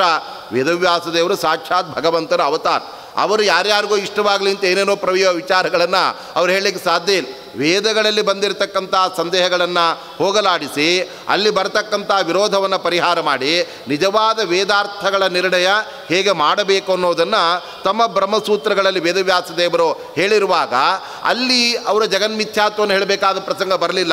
ಜೀವಬ್ರಹ್ಮರ ಅಭೇದ ವೇದಗಳಲ್ಲಿ ಎಲ್ಲೂ ಕೂಡ ಪ್ರತಿಪಾದಿತವಾಗಿಲ್ಲ. ಅದನ್ನು ಅವರು ಹೇಳಿಲ್ಲ. ಆದರೆ ಇವರಿಗೆ ನಮ್ಮ ಸಿದ್ಧಾಂತವನ್ನು ವೇದವ್ಯಾಸ ದೇವರು ಹೇಳಿಲ್ಲ. ಆದ್ದರಿಂದ ನಸ್ತೌಮ್ಯ ಹಂವ್ಯಾಸಂ ನಾನು ವೇದವ್ಯಾಸ ದೇವರನ್ನು ಸ್ತೋತ್ರ ಮಾಡೋದಿಲ್ಲ, ಅವರಿಗೆ ನಮಸ್ಕಾರ ಮಾಡೋದಿಲ್ಲ. ಯಾಕೆ ಅಂತಂದರೆ, ಸಮ್ಯಕ್ನ ಸೂತ್ರೈರ್ ನಿಬಬಂಧಯೋರ್ಥಂ ಅವರು ಚೆನ್ನಾಗಿ ಬಹಳ ಸ್ಪಷ್ಟವಾಗಿ ಅವರು ವೇ, ಸೂತ್ರಗಳಲ್ಲಿ ನಮ್ಮ ಸಿದ್ಧಾಂತಕ್ಕೆ ಪೂರಕವಾದ ಜೀವಬ್ರಹ್ಮರ ಅಭೇದ ಇತ್ಯಾದಿಗಳನ್ನು ಹೇಳಬೇಕಾಗಿತ್ತು. ಅದಕ್ಕೆ ವಿರುದ್ಧವಾಗಿ ಅವರು ಭೇದವ್ಯಪದೇಶ ಭೇದವ್ಯಪದೇಶ ಜಿ- ಭೇದ ವ್ಯಪದೇಶಾಚ ಅನ್ಯ ಅಂತ ಜೀವಬ್ರಹ್ಮರ ಭೇದವನ್ನೇ ಹೇಳಿಬಿಟ್ಟಿದ್ದಾರೆ. ಆದರೂ ಕೂಡ ನಮ್ಮ ಶಂಕರಾಚಾರ್ಯ ಬಹಳ ಬುದ್ಧಿವಂತರು. ಯಾಕೆ ಅಂದರೆ ಜೀವಬ್ರಹ್ಮರಿಗೆ ಭೇದ ಇದೆ ಅಂತ ವೇದವ್ಯಾಸ ದೇವರು ಸೂತ್ರಗಳಲ್ಲಿ ಸ್ಪಷ್ಟವಾಗಿ ಅವರು ಹೇಳಿದ್ದರೂ ಕೂಡ, ನೋಡಿ, ಭೇದ ಎಂಬುದು ಎರಡು ತರಹ ಇದೆ. ಒಂದು ಸತ್ಯವಾದ ಭೇದ, ಇನ್ನೊಂದು ಸುಳ್ಳು ಭೇದ ಅಂತ ಅವರು ವಿಭಾಗ ಮಾಡಿಬಿಟ್ಟು ಆದ್ದರಿಂದಲೇ ಒಂದು ವ್ಯಾವಹಾರಿಕ ಭೇದ, ಇನ್ನೊಂದು ಪಾರಮಾರ್ಥಿಕ ಭೇದ ಅಂತ. ಎಲ್ಲಾದರೂ ಕೂಡ ನನ್ನ ನಿಜವಾದ ಹೆಂಡತಿ, ಸುಳ್ಳು ಹೆಂಡತಿ ಅಂತ ಎಲ್ಲಾದರೂ ಹೇಳಕ್ಕೆ ಸಾಧ್ಯತೆ ಇದೆಯಾ? ಹಾಗೆ ಭೇದ ಅಂದರೆ ಅದು ಯಾವ ಯಾವತ್ತೂ ಪಾರಮಾರ್ಥಿಕವಾದದ್ದೇ. ಅದು ಕೂಡ ವೇದವು ಹೇಳ್ತಕ್ಕಂತಹ ಅಥವಾ ಸೂತ್ರಗಳು ಹೇಳ್ತಕ್ಕಂತಹ ವೇದ ಅಂದರೆ ಒಂದು ಸುಮ್ಮನೆ ಒಂದು ಪಾರಮಾರ್ಥಿಕವಾದದ್ದು, ಇನ್ನೊಂದು ವ್ಯಾವಹಾರಿಕ ಅಂತಲ್ಲಿ ವಿಭಾಗವೇ ಇಲ್ಲ. ಆದರೂ ಕೂಡ ತಮ್ಮ ಸಿದ್ಧಾಂತವನ್ನು ಅವರು ಮಂಡನೆ ಮಾಡೋದಕ್ಕೋಸ್ಕರ ಜೀವಬ್ರಹ್ಮರಿಗೆ ಭೇದವನ್ನು ವೇದವ್ಯಾಸ ದೇವರ ಬ್ರಹ್ಮಸೂತ್ರಗಳಲ್ಲಿ ಅವರು ಹೇಳಿಬಿಟ್ಟಿದ್ದಾರೆ ಅಂದರೆ ಆ ಭೇದ ವ್ಯಾವಹಾರಿಕ ಅಷ್ಟೆ. ನಾವು ಲೋಕದಲ್ಲಿ ವ್ಯವಹಾರ ಮಾಡುವಾಗ ಆ ಭೇದ ಅಗತ್ಯವಾಗುತ್ತೆ, ಮುಂದೆ ಈ ಎಲ್ಲ ಭೇದವನ್ನು ತೊರೆದು ನಿರಸ್ತ ಭೇದ ಎಲ್ಲ ನಾವೆಲ್ಲ ಬೇರೆ ಭಗವಂತ ನಾವು ಬೇರೆ ಅನ್ನತಕ್ಕಂಥ ಅಜ್ಞಾನವನ್ನು ಕಳ್ಕೊಂಡು ನಾವೇ ಭಗವಂತ, ನಾವೇ ದೇವರು ಅಂತ ಅಹಂ ಬ್ರಹ್ಮಾತ್ಮಿ ಅನ್ನತಕ್ಕಂಥ ಜ್ಞಾನವನ್ನು ನಾವು ಪಡೆದಾಗ ಆ ಸಂದರ್ಭದಲ್ಲಿ ಪಾರಮಾರ್ಥಿಕವಾಗಿ ನಮ್ಮಲ್ಲಿ ಅಭೇದ. ಆದ್ದರಿಂದ ಭೇದ ಎಂಬುದು ವ್ಯಾವಹಾರಿಕ ಸುಳ್ಳಾದ ಭೇದವನ್ನು ವೇದವ್ಯಾಸ ದೇವರು ಜೀವಬ್ರಹ್ಮರಿಗೆ ಹೇಳ್ತಾರೆ ಯಾವಾಗಲೂ ಕೂಡ ಸತ್ಯಭೇದ ಎಂಬುದು ವಿರೋಧವೇ ಹೊರತಾಗಿ ಸುಳ್ಳು ಭೇದವನ್ನು ಹೇಳಿದರೆ ಅದು ಏನಾಗಬೇಕಾಗಿದೆ? ಆದ್ದರಿಂದ ನಮ್ಮ ಶಂಕರಾಚಾರ್ಯರು ವೇದವ್ಯಾಸದೇವರ ಬ್ರಹ್ಮಸೂತ್ರಗಳಲ್ಲಿ ಜೀವಬ್ರಹ್ಮರಿಗೆ ಆ ಭೇದವನ್ನು ಹೇಳಿದರೂ ಕೂಡ ಅದು ಕೇವಲ ವ್ಯಾವಹಾರಿಕ ಭೇದ. ಅದು ಉಪಯುಕ್ತವಲ್ಲದೆ ಇರತಕ್ಕಂಥದ್ದು. ಪಾರಮಾರ್ಥಿಕವಾಗಿ ಜೀವಬ್ರಹ್ಮರಿಗೆ ಅಭೇದ ಇದೆ ಅಂತ ಹೇಳಿ ತಮ್ಮ ಸಿದ್ಧಾಂತವನ್ನು ಸೂತ್ರಗಳಿಗೆ ಆ ಅಪ್ಲೈ ಆಗುವಂತೆ, ಅದಕ್ಕೆ ಹೊಂದಿಕೆ ಆಗುವಂತೆ ಅವರು ವ್ಯಾಖ್ಯಾನ ಮಾಡಿಬಿಟ್ಟಿದ್ದಾರೆ. ಆದರೆ ಬ್ರಹ್ಮಸೂತ್ರಗಳಲ್ಲಿ ವೇದವ್ಯಾಸ ದೇವರು ಈ ಕೆಲಸ ಮಾಡಲಿಲ್ಲ. ಆದ್ದರಿಂದ ನಮ್ಮ ಸಿದ್ಧಾಂತವನ್ನು ಸೂತ್ರದಲ್ಲಿ ಹೇಳದೇ ಇದ್ದರೂ ಕೂಡ ಅದನ್ನು ಶಂಕರಾಚಾರ್ಯರು, ಸುರೇಶ್ವರಾಚಾರ್ಯರು ನಮಗೆ ಚೆನ್ನಾಗಿ ತಿಳಿಸಿಕೊಟ್ಟಿದ್ದಾರೆ ಆದ್ದರಿಂದ ನಾವು ತಲೆಬಾಗುವುದು ಯಾರಿಗೆ ಅಂದರೆ ತಮ್ ಶಂಕರಂ ನವಮಿ ಸುರೇಶ್ವರಂಚ. ಅಂತಹ ಶಂಕರಾಚಾರ್ಯರಿಗೆ, ಸುರೇಶ್ವರಾಚಾರ್ಯರಿಗೆ ನಾವು ನಮಸ್ಕಾರ ಮಾಡ್ತಾ ಇದ್ದೇವೆ. ಯಾಕೆ ಅಂದರೆ ವಿನಾಪಿತೈ ಸಂಗೃಹಿತ ಅಖಿಲಾರ್ಥಂ. ಅದಕ್ಕೆ ಅವರು ಕಾರಣ ಕೊಡ್ತಾ ಇದ್ದಾರೆ. ವೇದವ್ಯಾಸ ದೇವರಿಗೆ ನಮಸ್ಕಾರ ಮಾಡದೇ ಇರೋದಕ್ಕೆ ಕಾರಣ ಏನೋ? ಅವರು ಬ್ರಹ್ಮಸೂತ್ರಗಳಲ್ಲಿ ಅದ್ವೈತ ಪ್ರಮೇಯಗಳನ್ನು ಹೇಳದೇ ಇದ್ದದ್ದೇ, ಅವರು ದೊಡ್ಡ ತಪ್ಪು ಮಾಡಿಬಿಟ್ರು, ಅದಕ್ಕೆ ಅವರ ನಮಸ್ಕಾರ ಇಲ್ಲ. ಆದರೆ ವಿನಾಪಿತೈ ಸಂಗೃಹಿತ ಅಖಿಲಾರ್ಥಂ. ವೇದವ್ಯಾಸ ದೇವರು ಹೇಳದೇ ಇದ್ದರೆ ಏನಂತಾರೆ? ನಮಗೆ ಹೇಳೋದಕ್ಕೆ ಗೊತ್ತಿದೆ. ಅದಕ್ಕೆ ಬೇರೆ ಬೇರೆ ರೀತಿಯಾಗಿ ಅರ್ಥ ಮಾಡಿ. ನೋಡಿ, ಜೀವಬ್ರಹ್ಮರಿಗೆ ಅಲ್ಲಿ ಭೇದ ಇದೆ ಅಂದರೆ ಅದು ಸುಳ್ಳು ಭೇದ ಇದೆ. ಸತ್ಯವಾದ ಅಭೇದಕ್ಕೆ ಸುಳ್ಳು ಭೇದ ಯಾವತ್ತೂ ಕೂಡ ಅದು ಬಾಧಕ ಆಗೋದಿಲ್ಲ ಆದ್ದರಿಂದ ನಾವು ಜೀವಬ್ರಹ್ಮರ ಅಭೇದವನ್ನು ಕೂಡ ಹೇಳ್ತೇವೆ ಜಗನ್ ಮಿಥ್ಯಾತ್ವವನ್ನು ಕೂಡ ಹೇಳ್ತೇವೆ ಅಂತ ಅದ್ವೈತ ಸಿದ್ಧಾಂತ ಪ್ರತಿಪಾದನೆ ಮಾಡಿದೆ. ಆದ್ದರಿಂದ ಅಂತಹ ಇಬ್ಬರು ಆಚಾರ್ಯರಿಗೆ ಮಾತ್ರ ನಾವು ವಂದನೆಯನ್ನು ಸಲ್ಲಿಸ್ತೇವೆ ಎಂಬುದಾಗಿ ಹೇಳಿ ಅವರೇ ಬಹಳ ಸ್ಪಷ್ಟವಾಗಿ ಹೇಳಿದ್ದಾರೆ. ನಮ್ಮ ಸಿದ್ಧಾಂತದ ಪ್ರಮೇಯಗಳನ್ನು ಸೂತ್ರಕಾರರು ಹೇಳಿಲ್ಲ ಅಂತ ಒಪ್ಕೊಂಡಂತೆ ಆಯ್ತು. ಅವ್ರು ಹೇಳದೇ ಇದ್ದರೂ ನಮ್ಮ ಪೂರ್ವಾಚಾರ್ಯ ಹೇಳಿದ್ದರಿಂದ ಅವರು ನಮಗೆ ಮಾನ್ಯರಾಗಿದ್ದಾರೆ ಅಂತ ಹೇಳುವ ಮೂಲಕ ಅವರೇ ನೇರವಾಗಿ ಹೇಳ್ತಾ ಇದ್ದಾರೆ, ನಮ್ಮ ಶಂಕರಾಚಾರ್ಯರ ಭಾಷ್ಯ ಅದು ಉತ್ಸೂತ್ರ ಭಾಷ್ಯ. ಸೂತ್ರ ಬಾಹಿರವಾದ, ಸೂತ್ರಕ್ಕೆ ಸಂಬಂಧ ಇಲ್ಲದೆ ಇರತಕ್ಕಂಥ ವಿಚಾರವನ್ನು ಹೇಳುವಂತಹದ್ದಾಗಿದೆ ಅಂತ ಅವರು ಒಪ್ಕೊಂಡ್ಬಿಟ್ಟಿದ್ದಾರಾದ್ದರಿಂದ ನಾವು ಯಾವಾಗಲೂ ಕೂಡ ಭಾಷ್ಯ ಅಂದರೆ ಹೇಗಿರಬೇಕು? ಅದಕ್ಕೆ ನಮ್ಮ ಜೈತೀರ್ಥರು ಬಹಳ ಸುಂದರವಾಗಿ ಅವರು ತಮ್ಮ ಗ್ರಂಥದಲ್ಲಿ ಹೇಳ್ತಾರೆ, ನ್ಯಾಯಸುಧಾ ಗ್ರಂಥದಲ್ಲಿ ಸೂತ್ರಾರ್ಥೋ ವರ್ಣ್ಯತೆ ಯತ್ರ. ಸೂತ್ರಗಳಿಂದ ಏನು ನಮಗೆ ನೇರವಾಗಿ ಹೊರಹೊಮ್ಮುವ ಅರ್ಥ ಇದೆ, ಅದನ್ನು ಹೇಳಬೇಕು. ಅಲ್ಲಿರ್ತಕ್ಕಂಥ ಪದಗಳಿಗೆ ವ್ಯಾಖ್ಯಾನ ಮಾಡಬೇಕು. ಎಲ್ಲೂ ಕೂಡ ಅಲ್ಲಿ ಇಲ್ಲದೇ ಇರತಕ್ಕಂಥದ್ದನ್ನು ಹೇಳಬಾರ್ದು, ಅದಕ್ಕೆ ವಿರುದ್ಧವಾದನ್ನು ಹೇಳಬಾರ್ದು. ಅಂಥದ್ದು ಮಾತ್ರ ಭಾಷ್ಯಂ ಮುಚ್ಚತೆ. ಆದರೆ ಅದ್ಯಾವ ಭಾಷ್ಯ ಲಕ್ಷಣವೂ ಕೂಡ ಇಂತಹ ಸಿದ್ಧಾಂತದಲ್ಲಿ, ಅದ್ವೈತ ಸಿದ್ಧಾಂತದಲ್ಲಿ ಅಲ್ಲಿ ಬರೋದಕ್ಕೆ ಸಾಧ್ಯ ಇಲ್ಲ. ಆದ್ದರಿಂದ ಆ ಎಲ್ಲ ವಿಚಾರಗಳನ್ನು ಪೂರ್ವಪಕ್ಷವಾಗಿಟ್ಕೊಂಡು ಅದಕ್ಕೆ ಸಮರ್ಪಕವಾದ ಉತ್ತರವನ್ನು ಕೊಟ್ಟು ಆ ಭಗವಂತನ ಒಂದು ಶ್ರೇಷ್ಠತೆಯನ್ನು ಸಾರಬೇಕಾದರೆ ಆ ಜೀವಬ್ರಹ್ಮರ ಭೇದ ಬಹಳ ಅಗತ್ಯವಾಗಿರ್ತಕ್ಕಂಥದ್ದಾಗಿದೆ ಅದರಿಂದ ನಮಗೆ ಯುಕ್ತಾಯುಕ್ತ ಚಿಂತನೆ ಎಂಬತಕ್ಕಂಥದ್ದು ಬರುತ್ತೆ. ಯಾಕೆ ಅಂದರೆ ನಾವೆಲ್ಲರೂ ಕೂಡ ನಾವು ಪರಸ್ಪರ ಭಿನ್ನರು, ನಾವು ಮತ್ತು ದೇವರು ಎಲ್ಲ ಒಂದೇ ಆಗಿದ್ದೇವೆ ಅಂತಂದರೆ ಆವಾಗ ದೇವರಲ್ಲಿ ವಿಶೇಷತೆ ತಿಳಿಯೋದಕ್ಕೆ ನಮಗೆ ಅಲ್ಲಿ ಅವಕಾಶ ಎಂಬತಕ್ಕಂಥದ್ದು ಆಗೋದಿಲ್ಲ.